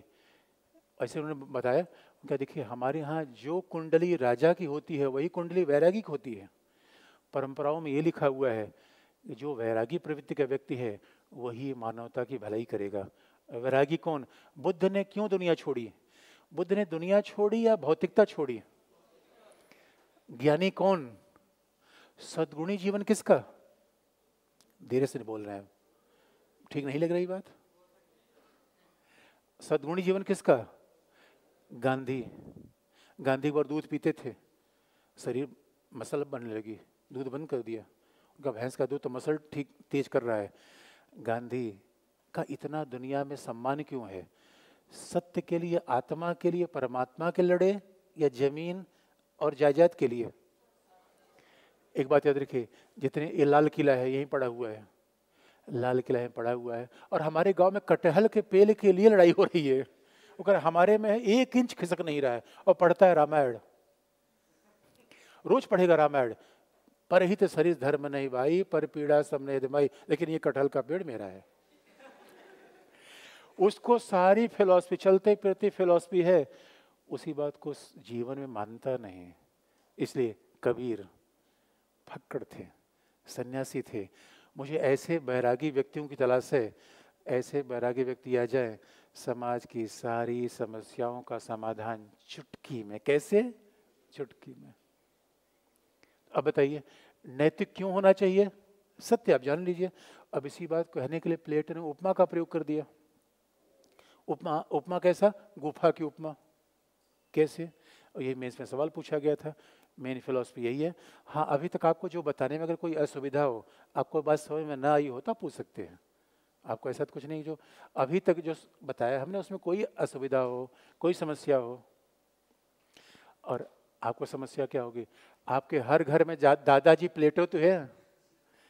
दादाजी सुबह सुबह क्या कहते हैं? राम राम राम राम। एक बार मैं पार्क में टहल रहा था। पार्क में टहल रहा था और एक, एक बूढ़े लोग थे। राम राम राम राम कर रहे थे। एक बात याद रखिएगा सत्य क्या ज्ञान तो हर आदमी को होता है किसी को मरने की सैया पर और किसी को युवावस्था में। सत्य क्या ज्ञान होता ही होता है। किसी को साठ साल में, किसी को सत्तर साल में, जब कुछ छूटने लगता है, तब उसको लगता है, यार, मैं किस चीज़ के पीछे पड़ा था? ये तो अपना है ही नहीं है। और जो अपना था, उस पर कभी ध्यान ही नहीं दिया। वो अपना क्या था? आत्मा, सात्विक शक्तियाँ, विवेक, ज्ञान, वैराग्य, ये मानव का श्रृंगार है। और किसके पीछे पड़े? डॉलर के, पाउंड के तो अब बताओ, आपका कभी भी आप याद रखना, जब आदमी जिस समय डेथ बेड पे होता है, वो क्या कहता है? पैसे की बात नहीं करता वो। आज तक मानवता में किन किन लोगों के इतिहास हम पढ़ते हैं? शक्तिशाली लोगों के या इन आदर्शों पर चलने वाले लोगों के? देख लीजिए, पूरी मानवता आप देख लीजिए। किसी बिजनेसमैन का इतिहास पढ़ा गया तो बताइए, अगर उसका भी इतिहास पढ़ा गया तो इसीलिए कुछ संपत्ति ही दान कर दी। इसलिए उसका इतिहास पढ़ा गया। दानी वैरागी, ऐसे लोग बहुत कम होने शुरू हो गए हैं। इंजीनियर आ रहे हैं, डॉक्टर आ रहे हैं, हर आदमी आई बनना चाहता है दोस्तों। अगर वैरागी प्रशासक बन जाए, वैरागी सीएम, डीएम और पीएम बन जाए तो समाज कैसे भला कोई भला होगा? और भोगी, विलासी, सांसारिक आदमी अगर ऐसे सार्वजनिक पद पे चला जाए तो जैसे भोगी आदमी अपने भी शरीर को बर्बाद करता है। भोगी आदमी तो अपने ही शरीर को बर्बाद कर लेता है। और बर्बाद नहीं करता है बिला हुआ पिज्जा, बर्गर, चाउमीन, सब कुछ खाता रहेगा। पता चला कि उसके बाद फिर, उसके बाद उसको पिज्जा खाने लगता है। हमारे यहाँ तो कई लोग कहते शुगर का तीन इंजेक्शन ले रहे हैं, उसके बाद फिर धनाधन वही खा रहे हैं। चार बजे खा रहे हैं, दो बजे खा रहे हैं, तीन बजे खा रहे हैं, रात में उठ के पराठा खा रहे हैं। जानवर भी रात में नहीं खाता। क्या क्या खाओगे? मैं आपकी बात नहीं कर रहा हूँ। ये मेरे बच्चे बड़े सात्विक है। ना ना ना ये बात मैं आपके लिए नहीं कह रहा हूँ। ये मैं बाहर के लोगों के लिए बात कह रहा हूँ। मेरे बच्चे तो बड़े अच्छे हैं। प्लेटो ने यही बात तो कही। नैतिक जीवन क्यों जीना चाहिए? इसलिए अगर आप, कई कई बार हम, ये फिलोसफी ना पढ़ने का परिणाम है। कुछ लोग कहते हैं, किसी ने मेरा, जो मेरा नहीं हो, किसी का नहीं लो। मेरा नहीं, किसी, सब भगवान के तुम्हारा कैसे? तुम्हारा कोई है ही नहीं है। न तुम्हें तो छोड़ के गया, न छोड़ के आया। भाव कैसा होना चाहिए? और हम क्या कर किसी पर हमला कर देते हैं कि हमारे साथ छोड़ के किसी और के साथ चला गया? ये लो अज्ञान मूढ़ बालक। कोई किसी का साथी नहीं है। सबका साथी एक स्वामी साईं बाबा। सबका मालिक बिला वजह फंसे है, इसी बात को लिख लीजिए, आगे लिख लीजिए। क्या? अब देखो, मेरे बच्चे ने क्या कहा है? मेरा बच्चा कह रहा है, एक कल्पना मात्र है। नहीं नहीं, कल्पना मात्र नहीं है। ये बात है कि आजकल लोग कम मान रहे हैं, और इसलिए प्लेटो ने खुद ही लिखा होना चाहिए। है नहीं। इसलिए रिपब्लिक क्या है? एक रोमांटिक आइडिया है। किसी व्यवस्था का उल्लेख नहीं है, बल्कि कल मतलब कल्पना तो एक तरीके से कह लो, कल्पना ही प्लेटो की है कि ऐसा समाज बने, अब नहीं बन पा रहा है तो बताओ। सोच बदलनी पड़ेगी, जहाँ सोच है। ओ अब देखो, अब भौतिक वाले में लोग, जहाँ सोच है वहाँ आत्मा है, जहाँ सोच है वहाँ शौचालय है। ये भौतिक प्राणी, तुम्हें प्लेटो सद्बुद्धि दे। लिख लो मेरे बच्चों, क्या लिखा आपने? लिख हाँ बताओ।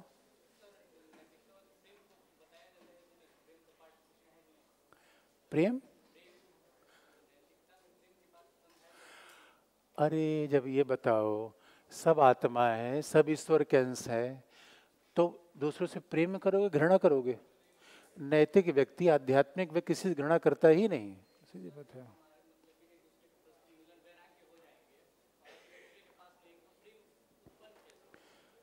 यही बहुत, तुम्हारे भौतिकवादी सोचने से नहीं होगा।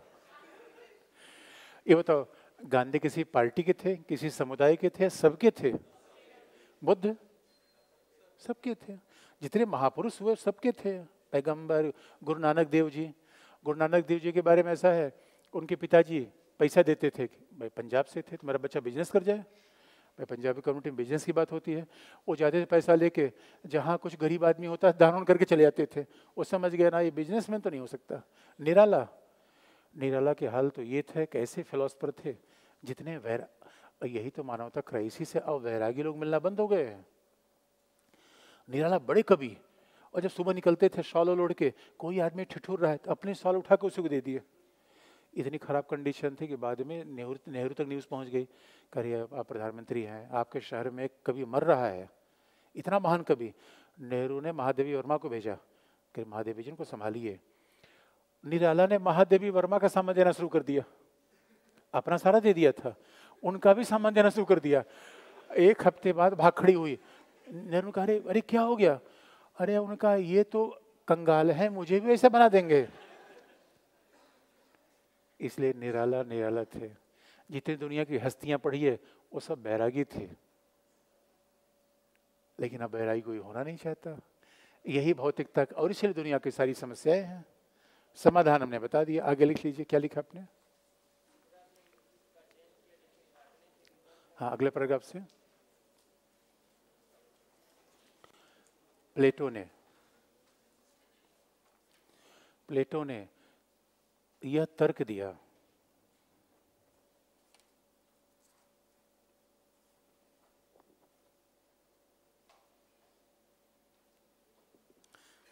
प्लेटो ने तर्क दिया। अब देख, खुराफाती बच्चों कैसा होता है। यदि प्लेटो की शादी हो जाती तो उसके विचार भिन्न होते हाँ।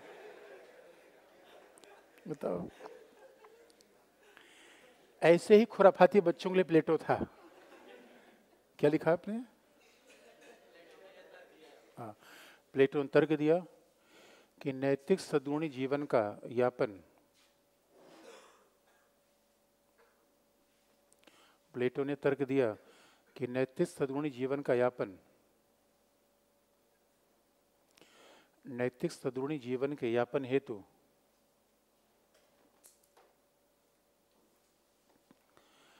नैतिक सदगुणी जीवन के यापन हेतु सत्य का ज्ञान आवश्यक है।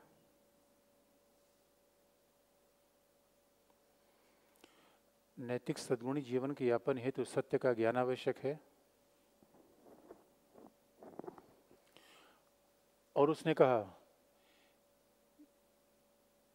कि इस विश्व में पॉइंट नंबर एक, और उसने कहा कि इस विश्व में पॉइंट नंबर एक इस विश्व में पॉइंट नंबर एक एक विचारों का विश्व है वर्ल्ड ऑफ़ आइडियाज़ इस विश्व में एक विचारों का विश्व है वर्ल्ड ऑफ़ आइडियाज़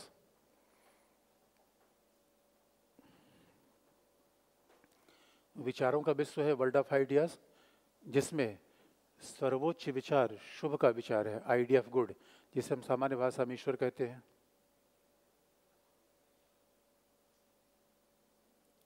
जिसे शुभ का विचार या आइडिया ऑफ़ गुड कहा जाता है जिससे एक विचारों का विश्व है, जिसमें सर्वोच्च विचार शुभ का विचार है आइडिया ऑफ़ गुड है। शुभ का विचार है। शुभ का विचार ब्रैकेट में परमात्मा जिसे आप ईश्वर कर सकते हो प्लेटो ने शुभ कहा है। शुभ का विचार है। इसी प्रकार इसी प्रकार न्याय, सुंदरता। इसी प्रकार न्याय, सुंदरता, त्रिभुज।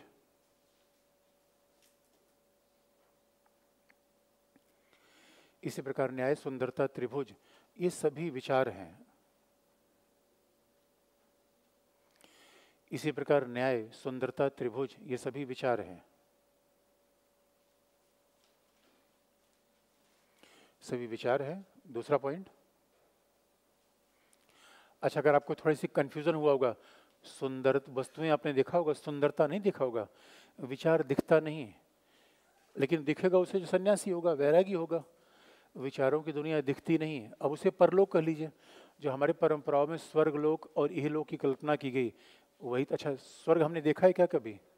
स्वर्ग तो देखा नहीं है। ऐसा ही प्लेटो कह रहा है कि विचारों की दुनिया है। अब सवाल को विचारों को दिया मैंने देखी मैं आपको दिखा सकता हूँ। नहीं, कुछ वैसा है स्वर्ग की दुनिया, जो विचारों की दुनिया है। उसी में क्या है? सुंदरता। सुंदरता ब्यूटी आइडिया है। आपने ब्यूटीफुल ऑब्जेक्ट देखे होंगे। आप ब्यूटीफुल घर देख सकते हैं, महिला देख सकते हैं, पुरुष देख सकते हैं। घर ब्यूटी ब्यूटी नहीं देख सकते। आइडिया है वो।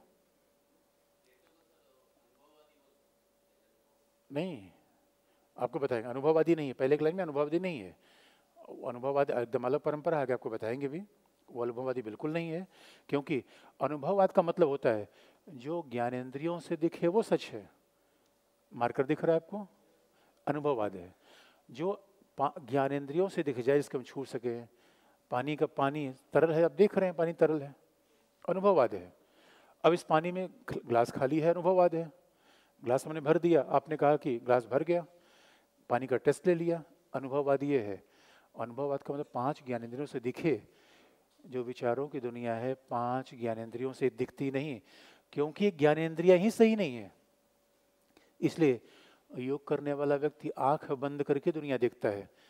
कबीर ने सच कैसे देखा? उनकी तो आँख सूर ने सच कैसे देखा? सूर ने भगवान कृष्ण को देख लिया बिना आँख होते हुए।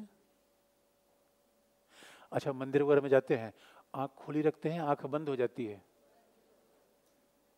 प्रार्थना करते समय आँख खुली रखते हैं बंद रखते हैं? और कमाल की बात है। मरने के बाद आँख खुली रह जाती, फिर भी नहीं दिखता। आँखों से दिखता है या कहीं और से? और जो आँखों से दिखता है, वो नकली है, क्योंकि आँख भी नकली है। जो आत्मा से दिखता है, वो असली है। आप कहोगे, सर, उलझाओ मत हमें। अरे, उलझाने की बात ही नहीं है, क्योंकि जो नहीं देख पाए, वही क्या है? आत्मा। और सही बात है, हमें आत्मा देखना है या लिखना है। लिखना है ना? तो उसमें बहुत परेशान होने की ज़रूरत नहीं है। लेकिन जैसे गोत्व, गाय देख सकते हैं। गोत्व के विचार, हॉर्सीनेस, जो हर घोड़े में पाया जा रहा विचार है, वो क्या है? विचार। सुंदरता। इसे सुंदर फूल आज है, कल नहीं रहेगा। सुंदरता रहेगी। और इसलिए प्लेटो जिस आदर्श राज्य का विचार बनाना चाहता है वो है नहीं। रिपब्लिक एक विचार है। याद रखिएगा, एथेंस ज़मीन पर है, स्पार्टा ज़मीन पर है, रिपब्लिक नहीं है। रिपब्लिक एक विचार है। आगे लिख लीजिए। त्रिभुज? किसी ने त्रिभुज देखा है? हाँ मैथ वाला है। और कौन त्रिभुज होगा यार? एक बात याद रखिए, आप त्रिभुजाकार वस्तुएँ देख सकते हैं। त्रिभुज आप कभी नहीं देख सकते। आपने त्रिभुजाकार वस्तुएँ देखी होंगी। त्रिभुज एक विचार है। पूरी मैथमेटिक्स विचारों पर है। आप याद रखिए, two plus two is equal to four. विचार है या वस्तु है? अच्छा टू से कभी मिले हैं? अच्छा गुड़ा भाग कभी आपसे मिले? किसी मोहल्ले में? पूरा मैथमेटिक्स आइडिया है। A square plus B square is equal to A square plus B square plus two A B C. विचार है या वस्तु है? मैथमेटिक्स विचार। त्रिभुज के तीन कोण का योग एक सौ अस्सी अंश होता है, विचार है। विचार है। मैथमेटिक्स और ज्योमेट्री विचार है। फिजिक्स और केमिस्ट्री बहुत ही दुनिया का अध्ययन करता है। इसलिए आप याद रखिए, जो मैथमेटिक्स पढ़ता है, उसका दिमाग बहुत शार्प हो जाता है। विचारों से खेलता है वो। और फिलोसफर किससे खेल रहा है? विचारों से। विचारों से खेलेंगे तभी दुनिया समझ में आएगी। और जब विचारों से खेलना शुरू करेंगे, सी सेट धड़ाधड़ पढ़ा जाएगा। सी सेट पढ़ने में कठिनाई इसलिए आती है कि विचार से हम डील नहीं करते। हम किससे डील करते हैं? वस्तुओं से। थोड़ा चेंज करिए। नज़रिया बदलेंगे तो नज़ारे बदल जाएँगे। यहाँ थोड़ा नज़रिया बदलना है। प्लेटो जैसा देखना है।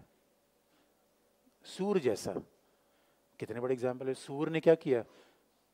दुनिया देखा बिना आँखों के। आप कहोगे, ये बकवास बंद करो। ये कुछ नहीं सच है। इसलिए सच मानो, अभी बकवास हम नहीं कर रहे हैं, ये प्लेटो ने कहा है। और दूसरी बात, जहाँ आत्मा परमात्मा की बात आएगी, रहस्यवाद हो ही जाएगा। जिसने रहस्य सुलझा लिया, वही ज्ञानी हो गया। ये कितनी परंपरा उसमें है? आप आप जैसे हम कह रहे हैं कि आप जैसा कोई बीएससी वाला आदमी क्या जो बीएससी पढ़ा होगा? यार, क्या कह रहा है? आत्मा, परमात्मा, भौतिक दुनिया, सांसारिक दुनिया मतलब क्या है? यही सवाल विवेकानंद ने पूछा था रामकृष्ण से। विवेकानंद से पूछा था, आपने ईश्वर देखा है जो हमें दिखाओगे? रामकृष्ण कहा, मैंने देखा है, ये बात अलग है, आप देख सकते को नहीं है। उनका मुझे देखना है। उनका जाग, कुटिया में जाओ। उसके बाद विवेकानंद ने क्या देखा? बड़े लोगों ने ऐसी ऐसी बातें लिखी हैं। अरविंद अरविंद जेल में थे। उनका भगवान कृष्ण मुझसे मिलने आए। भाई, जेल का भगवान कृष्ण का पहले का संबंध है। अब उन दोनों के बीच घटना थी, मैं कैसे कहता कि नहीं दे आए थे? विवेकानंद ने कहा कि मैंने क्या देखा उसके बाद ना कुछ बता पाए। जैसे गूँगा गुड़ खा के उसका टेस्ट बता नहीं पाता। वैसे भगवान को देखने के बाद आज तक कोई बता नहीं पाया भगवान होता कैसा है। इसे मैं उसकी केवल व्याख्या ही कर रहा हूँ। इस शंकराचार्य से पूछा गया, आत्मा कैसी है? तो उन्होंने कहा, ये मैं बता सकता हूँ क्या नहीं है। ये नहीं बता सकता क्या है? तो कहा, ये कलम जैसी नहीं है, मोटी नहीं है, लंबी नहीं है, चौड़ी नहीं है, गोरी नहीं है, काली नहीं है। वज़न नहीं है, लेकिन ये नहीं बता सकता क्या है। तो लोगों यार फिर कंफ्यूज कर दिया। कंफ्यूजन कोई बात ही नहीं है। क्योंकि जो विचार है, जो ऊपर की दुनिया है, वो क्या है? विचारों की दुनिया। जो यहाँ फ़र्स्ट फ्लोर पर बैठे हुए हैं, ये क्या है? बहुत दुनिया। ऊपर का सेकंड फ्लोर नहीं, एकदम ऊपर।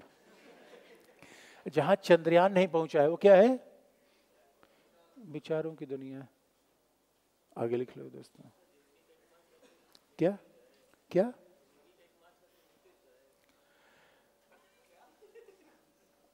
यही नहीं समझ पाते लोग मेरे बच्चे। यही मेरा मेरा बच्चा फिलोसफर हो रहा है। ओ माय गॉड ये कह रहे ज़िंदगी के मात्र सत्य मृत्यु ही तो है। ये मेरे बालक, अगर तुमको ऐसा ज्ञान हो गया तो तुम सत्य के बहुत नज़दीक जा रहे हो। नेक्स्ट पॉइंट अब लिख लो। क्या?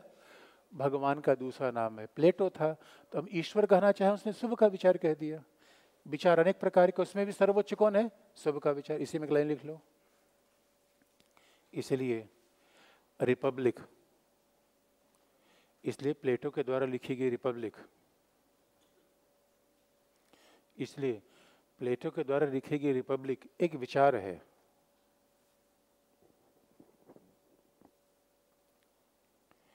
इसलिए प्लेटो के द्वारा लिखी गई रिपब्लिक एक विचार है, जिसमें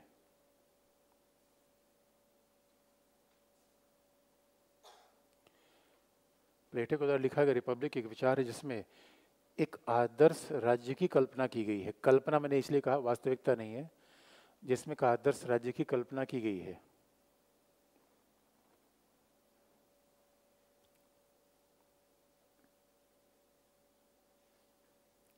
दूसरा पॉइंट बी। दूसरा पॉइंट बी, जबकि जबकि दूसरा विश्व वस्तुओं का संसार है। जबकि दूसरा जिस दूसरा विश्व वस्तुओं का संसार है। जबकि दूसरा विश्व वस्तुओं का संसार है, जिसमें जिसमें सभी प्रकार के भौतिक पदार्थ और सांसारिक, जिसमें सभी प्रकार के भौतिक पदार्थ और सांसारिक विश्व शामिल है।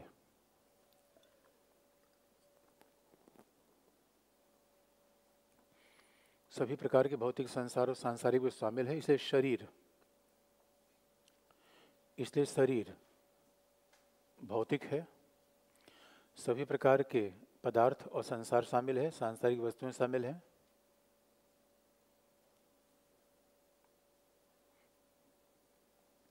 जिसमें शरीर शरीर और Athens Sparta, Athens Athens Sparta, शरीर, एथेंस स्पार्टा जो राज्यों के नाम है, जहाँ वो लिख रहा था, एथेंस स्पार्टा भी संसार में स्थित राज्य हैं।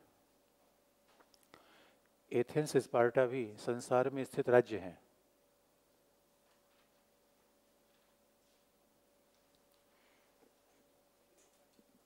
संसार में स्थित राज्य है। अगले पैराग्राफ से। प्लेटो ने कहा कि अज्ञानता के परिणाम स्वरूप इग्नोरेंस, अज्ञानता के परिणाम स्वरूप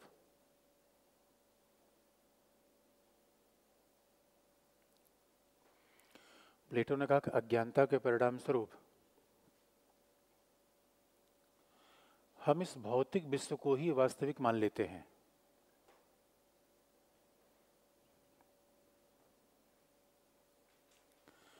अज्ञानता के परिणाम स्वरूप हम इस भौतिक विश्व को ही वास्तविक मान लेते हैं।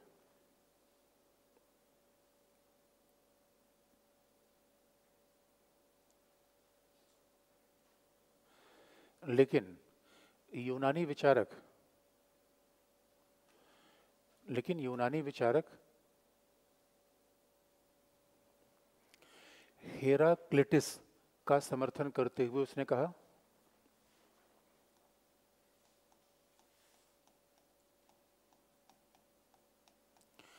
यूनानी विचारक हेराक्लिटिस का समर्थन करते हुए उसने कहा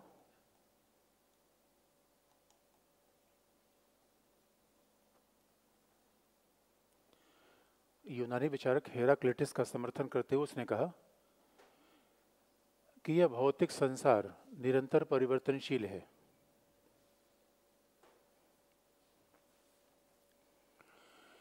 यह भौतिक संसार निरंतर परिवर्तनशील है।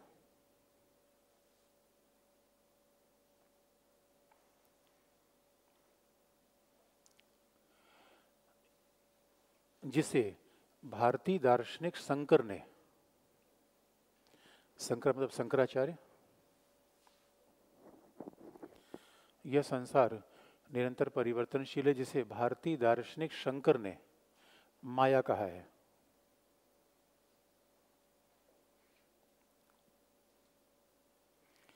जिसे भारतीय दार्शनिक शंकर ने माया कहा है। इसे एक बात सीधी सी है। अच्छा आपने कभी मिराज देखा है? मिराज मतलब रेगिस्तान में दिखता है। मिराज माया है, भ्रम है या वास्तविकता है? कई बार हम रस्सी को सांप समझ लेते हैं। क्या है? माया है। और तुलसीदास को ज्ञान उनकी पत्नी ने करा दिया था। तुलसीदास पत्नी के प्रेम में इतने पागल थे कि ससुराल में रात में गए थे और सांप को पकड़ के चढ़ रहे थे रस्सी समझ के। और उनकी पत्नी ने उनको कहा, इतना प्रेम प्रभु से किया होता तो मुक्ति हो जाती। है उसी दिन से उनका जीवन बदल गया। और जब बुद्ध ने बुद्ध ने अंगुलीमाल से कहा अंगुलीमाल ने कहा कि स्थिर पूरा संवाद पाली में है। तो अंगुलीमाल अंगुलीमाल ने कहा सन्यासी स्थिर हो जा। बुद्ध ने मुस्कुराते हुए कहा, मैं तो स्थिर हूँ, तू कब स्थिर होगा? अंगुलीमाल का जीवन बदल गया। इसलिए जीवन खत्म हुआ तो जीने का ढंग आया। कई लोगों को जीवन चला जाता है, तब समझ में आता है, जिसके पीछे भाग रहे थे वो अपना था ही नहीं। और जिस देखिए हमारे इतने भौतिकवादी प्राणी हैं हमारे अच्छा ऐसे ऐसे ऐसे फिलोसफी के युवाओं को पढ़ाना पर्याप्त मुश्किल भी है। अब क्योंकि हमारी आँख पूरी तरह भौतिक दुनिया में लगी हुई है। क्योंकि अब अच्छा आँखों पर नियंत्रण, शरीर पर इतना, भाई जीव पर नियंत्रण कर लेना, आँख पर नियंत्रण कर लेना इतना कठिन तपस्या पूछिए मत। तो संसार से त्याग संसार को त्यागना नहीं है। संसार से अटैचमेंट नहीं रखना है। इस दो प्रकार की दुनिया हो गई। दो प्रकार की दुनिया हो गई, एक भौतिक दुनिया, दूसरी एक दिखने वाली दुनिया, दूसरी न दिखने वाली दुनिया। तो सत्य क्या है? न दिखने वाली दुनिया, आत्मा की दुनिया। और इसलिए कहा भी जाता है कि अब जब ये ज्ञान हमें प्राप्त हो गया, फिर उसने उपमा का प्रयोग किया। अब सवाल अगर यही बात आप लोगों को जाके बताइए, यही बात आप अगर किसी अपने बड़े बुज़ुर्ग को बताइए, अगर कोई बड़ा बुज़ुर्ग आपका, मान लो संपत्ति के लिए, संपत्ति के लिए भाई भाई में झगड़ा हो जाता है। परिवार परिवार का विभाजन हो जा रहा है। अब मान लो, अब आपके दिमाग में नैतिकता का विचार आ गया प्लेटो का विचार आ गया और कहो, क्या बापू? अरे मेरे चाचू, लड़ रहे हो संपत्ति के लिए? ये कुछ अपना नहीं है। चुप, नालायक कहीं का। यही पढ़ के आया है? किस टीचर ने पढ़ाया तुम्हें? लो। अच्छा यही बात मैं अपने घर में जाके बता दूँ तो ये सब संसार मिथ्या है। कब मिथ्या है? जंगल में चले जाओ। बड़ी दिक्कत ये है, कोई मानता ही नहीं। हम ये नहीं कर रहा हूँ, मान लीजिए, है बड़ा कठिन काम। हमें मानना तो हमें तो लिखना है। हमें तो लिखना है, लेकिन वास्तविकता की बात है, फिर यहाँ प्लेटो ने एक उपमा का प्रयोग किया है। प्लेटो ने उपमा का प्रयोग कौन सा किया? उसने कहा, ये बात बताना, मनवाना उतना कठिन है। ये आसान बात थोड़ी है। अरे, हमारे यहाँ कितने प्रवचन कर रहे हैं, रोज ही लोग कह रहे हैं, दुनिया माया है, दुनिया मिथ्या है। जो माया का प्रवचन दे रहे हैं, वही सारे माया इकट्ठा कर रहे हैं। और एक बात मैं निरंकारियों के प्रवचन में गया। प्रवचन चल रहा था। बाबा जी कह रहे थे, नशा छोड़ दो, ये जीवन में सब बेकार है, सात्विक जीवन जियो, आत्मा खोज करो। एक बाबा थे, बाहर आके बीड़ी पी रहे थे। मैंने कहा, बाबा, कुछ तो ध्यान रखा होता। उनका प्रवचन की बात अंदर, बीड़ी की बात बाहर।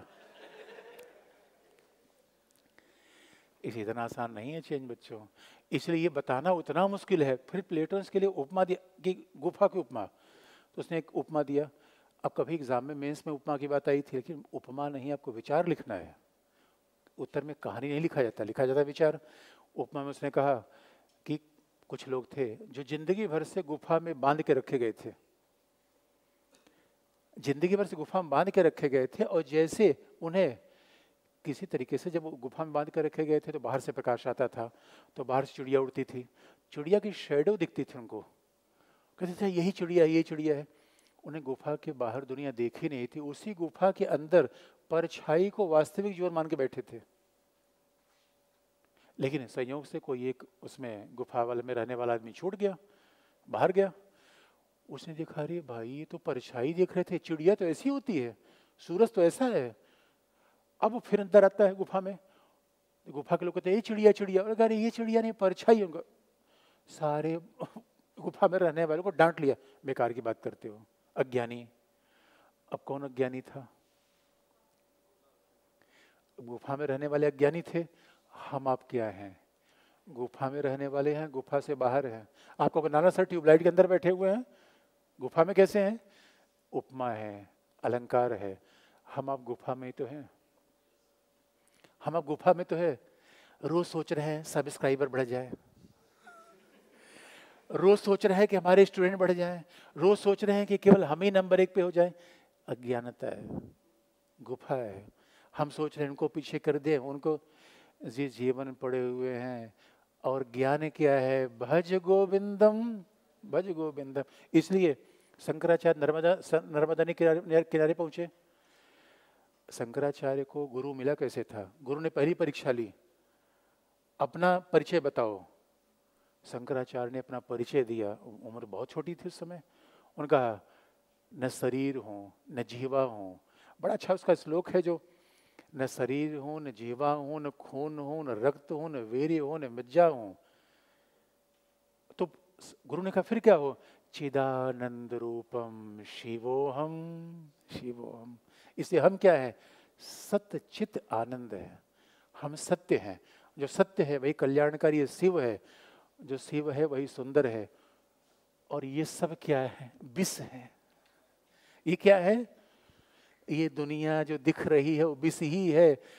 आप याद रखो, हम जानते हैं दोस्तों, शादी ब्याह कितना बड़ा दुख होता है। मैं आपको बता दे रहा हूँ, अब कर लेना तो आप भी। ये विष है, रोज आपको विष पीना पड़ेगा। भौतिक दुनिया में विष है।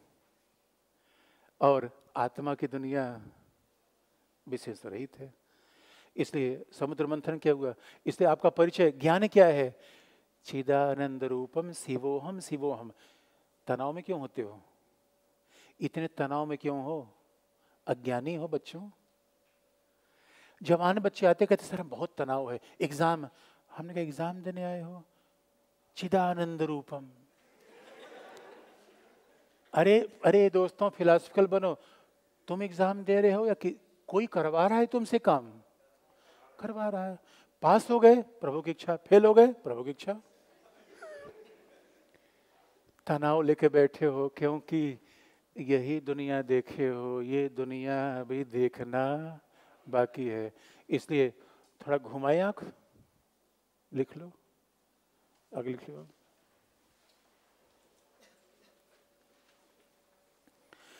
और जैसे जैसे मैं शंकर की बात करता हूँ तो इसकी बाकायदा परंपराओं का कंपैरिजन आप लिख सकते हैं।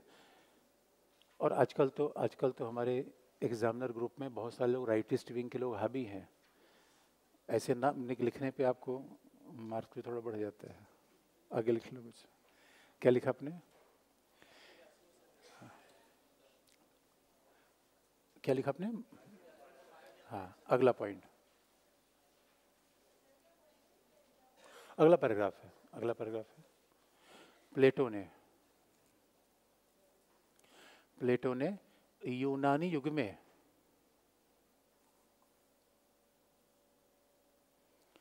प्लेटो ने यूनानी युग में विद्यमान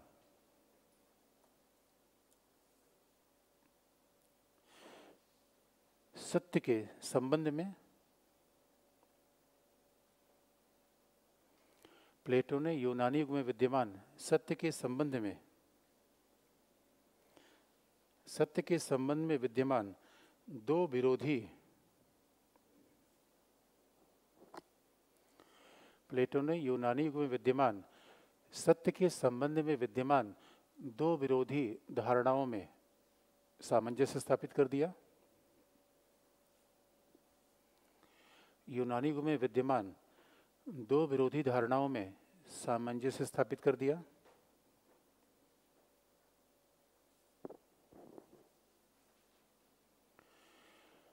दो विरोधी धारणाओं में सामंजस्य स्थापित कर दिया।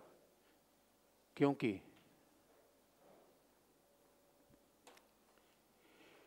क्योंकि पारमिंडिस यह मानते थे।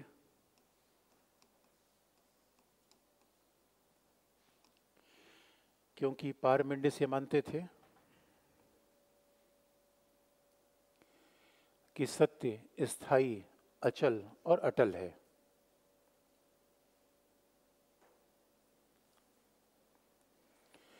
क्योंकि पारमिंडिस ही मानते थे कि सत्य, स्थायी, अचल और अटल है।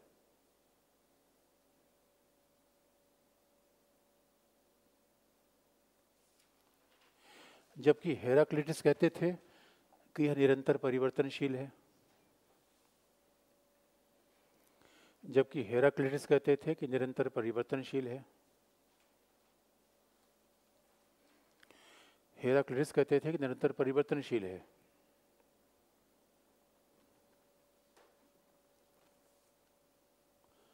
प्लेटो ने कहा, विचारों का विश्व अचल और अटल है, अपरिवर्तनशील है।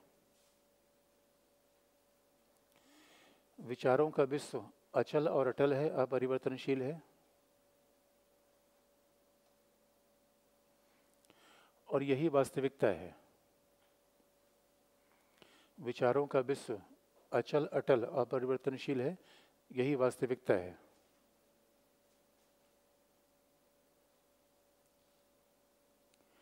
अचल अटल मतलब परमानेंट है नॉन चेंजेबल है। अचल अटल है, ये वास्तविकता रियल है, जबकि भौतिक दुनिया परिवर्तनशील है।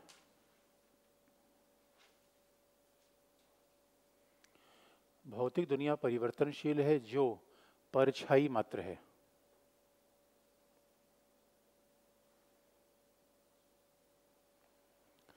भौतिक दुनिया परिवर्तनशील है जो परछाई मात्र है।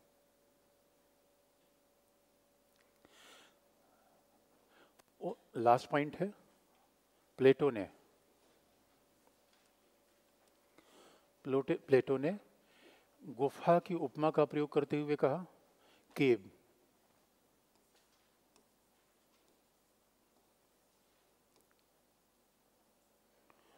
प्लेटो ने गुफा की उपमा का प्रयोग करते हुए कहा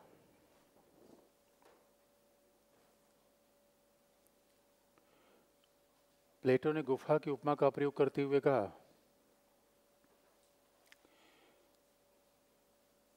कि भौतिक विश्व को, भौतिक विश्व को सत्य मानने वाले लोग,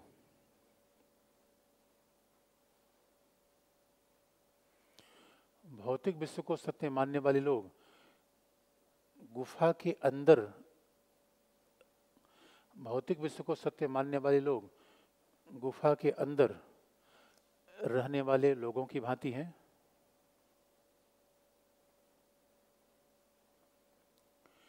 गुफा के अंदर रहने वाले लोगों की भांति है। जबकि विचारों के विश्व को, विचारों के विश्व के ज्ञान, विचारों के विश्व का ज्ञान ही वास्तविक ज्ञान है।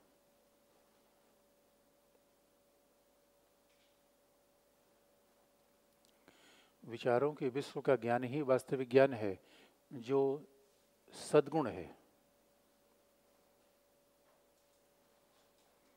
जो विचारों के विश्व का ज्ञान ही वास्तविक ज्ञान है, जो सद्गुण है।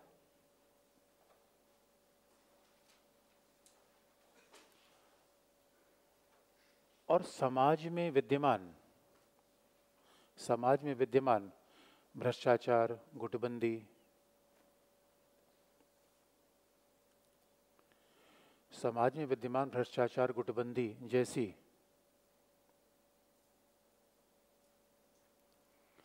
समाज में विद्यमान भ्रष्टाचार गुटबंदी जैसी। समस्याओं का मूल कारण ही मानसिक है। समाज में विद्यमान भ्रष्टाचार गुटबंदी जैसी समस्याओं का मूल कारण ही मानसिक है।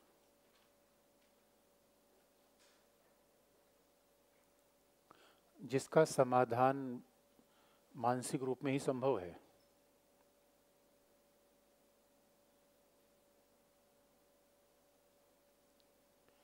जिसका समाधान मानसिक रूप में संभव है। अब आप देखें, अब आप प्रीवियस क्वेश्चन पेपर पर जाइए। इस, जितनी बात अभी तक हमने बताया उससे क्वेश्चन, तीन किस्म क्वेश्चन पूछा गया मेंस में। तीनों को उत्तर मैंने बता दिया आपको। जो अभी तक हमने आपको बात बताई उसमें तीन किस्म के, और बात बड़ी सिंपल सी है, प्लेटो ने कह दिया, दोनों अंतर संबंधित है। इसे हम ये नहीं कह सकते, शरीर जो दिख रहा है असत्य है, शरीर दिख रहा है तो सत्य है।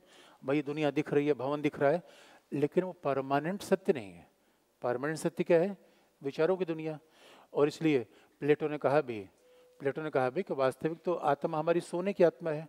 उस समय मिथ का प्रयोग होता था। यूनानी युग में कई चीज़ें मिथ के रूप में आती थी। मिथ के रूप में आती थी तो एक लाइन में आप लिख लीजिए। इसी से तीन सवाल आए हैं। एक तो है कि ये जो विचारों की दुनिया की परछाई भौतिक दुनिया है, कमेंट करिए। एक सब गुफा की उपमा पर कमेंट करिए। दूसरा सवाल पूछा गया है, सदगुण ज्ञान है, कमेंट करिए। तीन सवाल। तीन सवाल तो इसी टॉपिक से आपको मिल जाएँगे। उत्तर एक ही है। अब प्रीवियस सर क्वेश्चन पर ज़रूर देखिए। भाई एक बार देखिए, दो बार देखिए, तीन बार देखिए तो हम कोशिश करेंगे उसको सॉल्व करें। तीन सवाल आप किसी टॉपिक से मिलेंगे। बस एक लाइन में जोड़ लीजिए। प्लेटो ने पुनः। प्लेटो ने पुनः। यूनानी युग में प्रचलित।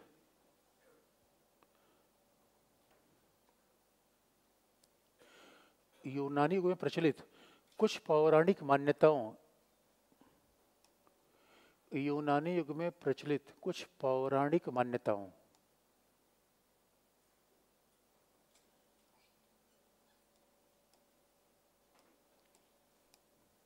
ब्रैकेट में मिथ।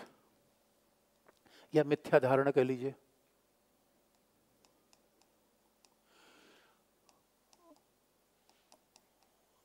यूनानी युग में प्रचलित कुछ पौराणिक मान्यताओं का सहारा लेते हुए कहा, मिथ का प्रयोग करते हुए कहा।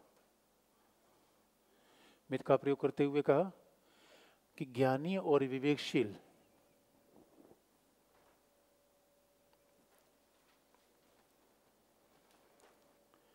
ज्ञानी और विवेकशील व्यक्ति की आत्मा ही सोने से बनी हुई है।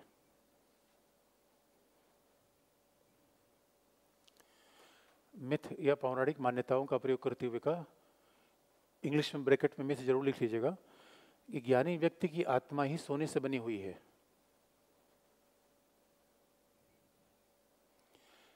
इसलिए उसे भौतिक संसार में विद्यमान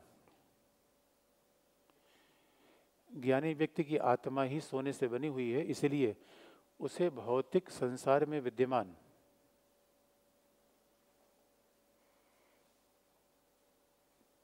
सोने की आवश्यकता नहीं है। ज्ञानी व्यक्ति की आत्मा ही सोने के बने हुए, इसलिए उसे भौतिक संसार में विद्यमान सोने की आवश्यकता नहीं है। जबकि इस भौतिक दुनिया में, इस भौतिक दुनिया में संघर्ष और भ्रष्टाचार का मूल कारण ही भौतिक है। जबकि इस भौतिक दुनिया में संघर्ष और भ्रष्टाचार का मूल कारण ही भौतिक है।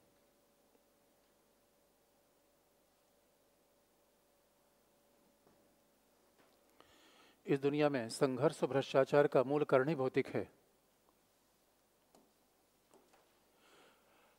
अब अभी बात स्पष्ट है कि नैतिक सदृढ़ जीवन का मतलब क्या है? जो विवेकशील जीवन हो, बहुत बड़ी बात होती है। प्लेटो ने प्लेटो ने कुछ जगह मिथ का प्रयोग किया है, लेकिन बहुत बड़ा तार्किकवादी था। प्लेटो ने तर्क से सिद्ध किया कि हमें नैतिक जीवन क्यों जीना चाहिए? हमें अच्छा जीवन क्यों जीना चाहिए? और यही हमारे लाइफ में इसका मतलब ये नहीं कि हमने ये केवल पढ़ लिया कि परमात्मा वास्तविक है, परमात्मा वास्तविक है, ऐसा हम ज्ञान न करें। ऐसा व्यवहार में भी हमें प्रैक्टिस करना चाहिए। और क्यों करना चाहिए? इसीलिए ये दुनिया सोफिस्ट की दुनिया, वास्तविक दुनिया नहीं है। सोफिस्ट की दुनिया, वास्तविक दुनिया नहीं है। लेकिन ये बात तो सच है बार बार कह रहा है चाहिए चाहिए चाहिए। और तीन क्वेश्चन उसे संबंधित है। इससे तीन क्वेश्चन पूछे गए हैं प्रीवियस ईयर क्वेश्चन पर को। देख लीजिएगा। इसी बात से। लेकिन अब सवाल दूसरा हो गया। हम अच्छा राज्य कैसे बनाए? समाज कैसे बनाए? जहाँ व्यक्ति रह सके। व्यक्ति को मैं ज्ञानी बना दूँ और भेज दूँ अफ़गानिस्तान? व्यक्ति को ज्ञानी बना के भेज दूँ नॉर्थ कोरिया? तो प्लेटो बाद मिलेगा। और आत्मा से परमात्मा को तुरंत मिलवा देगा वो तो। बिना प्लेटो को पढ़े। इसे हमें दूसरा काम करना है, लेकिन हम काम करेंगे कल, आज के लिए इतना ही। तो जो पूछना हो, ऑफ़िस में आ जाएगा कोई सवाल हो, बाकी क्वेश्चन पेपर आप देख लीजिएगा, बाकी कल।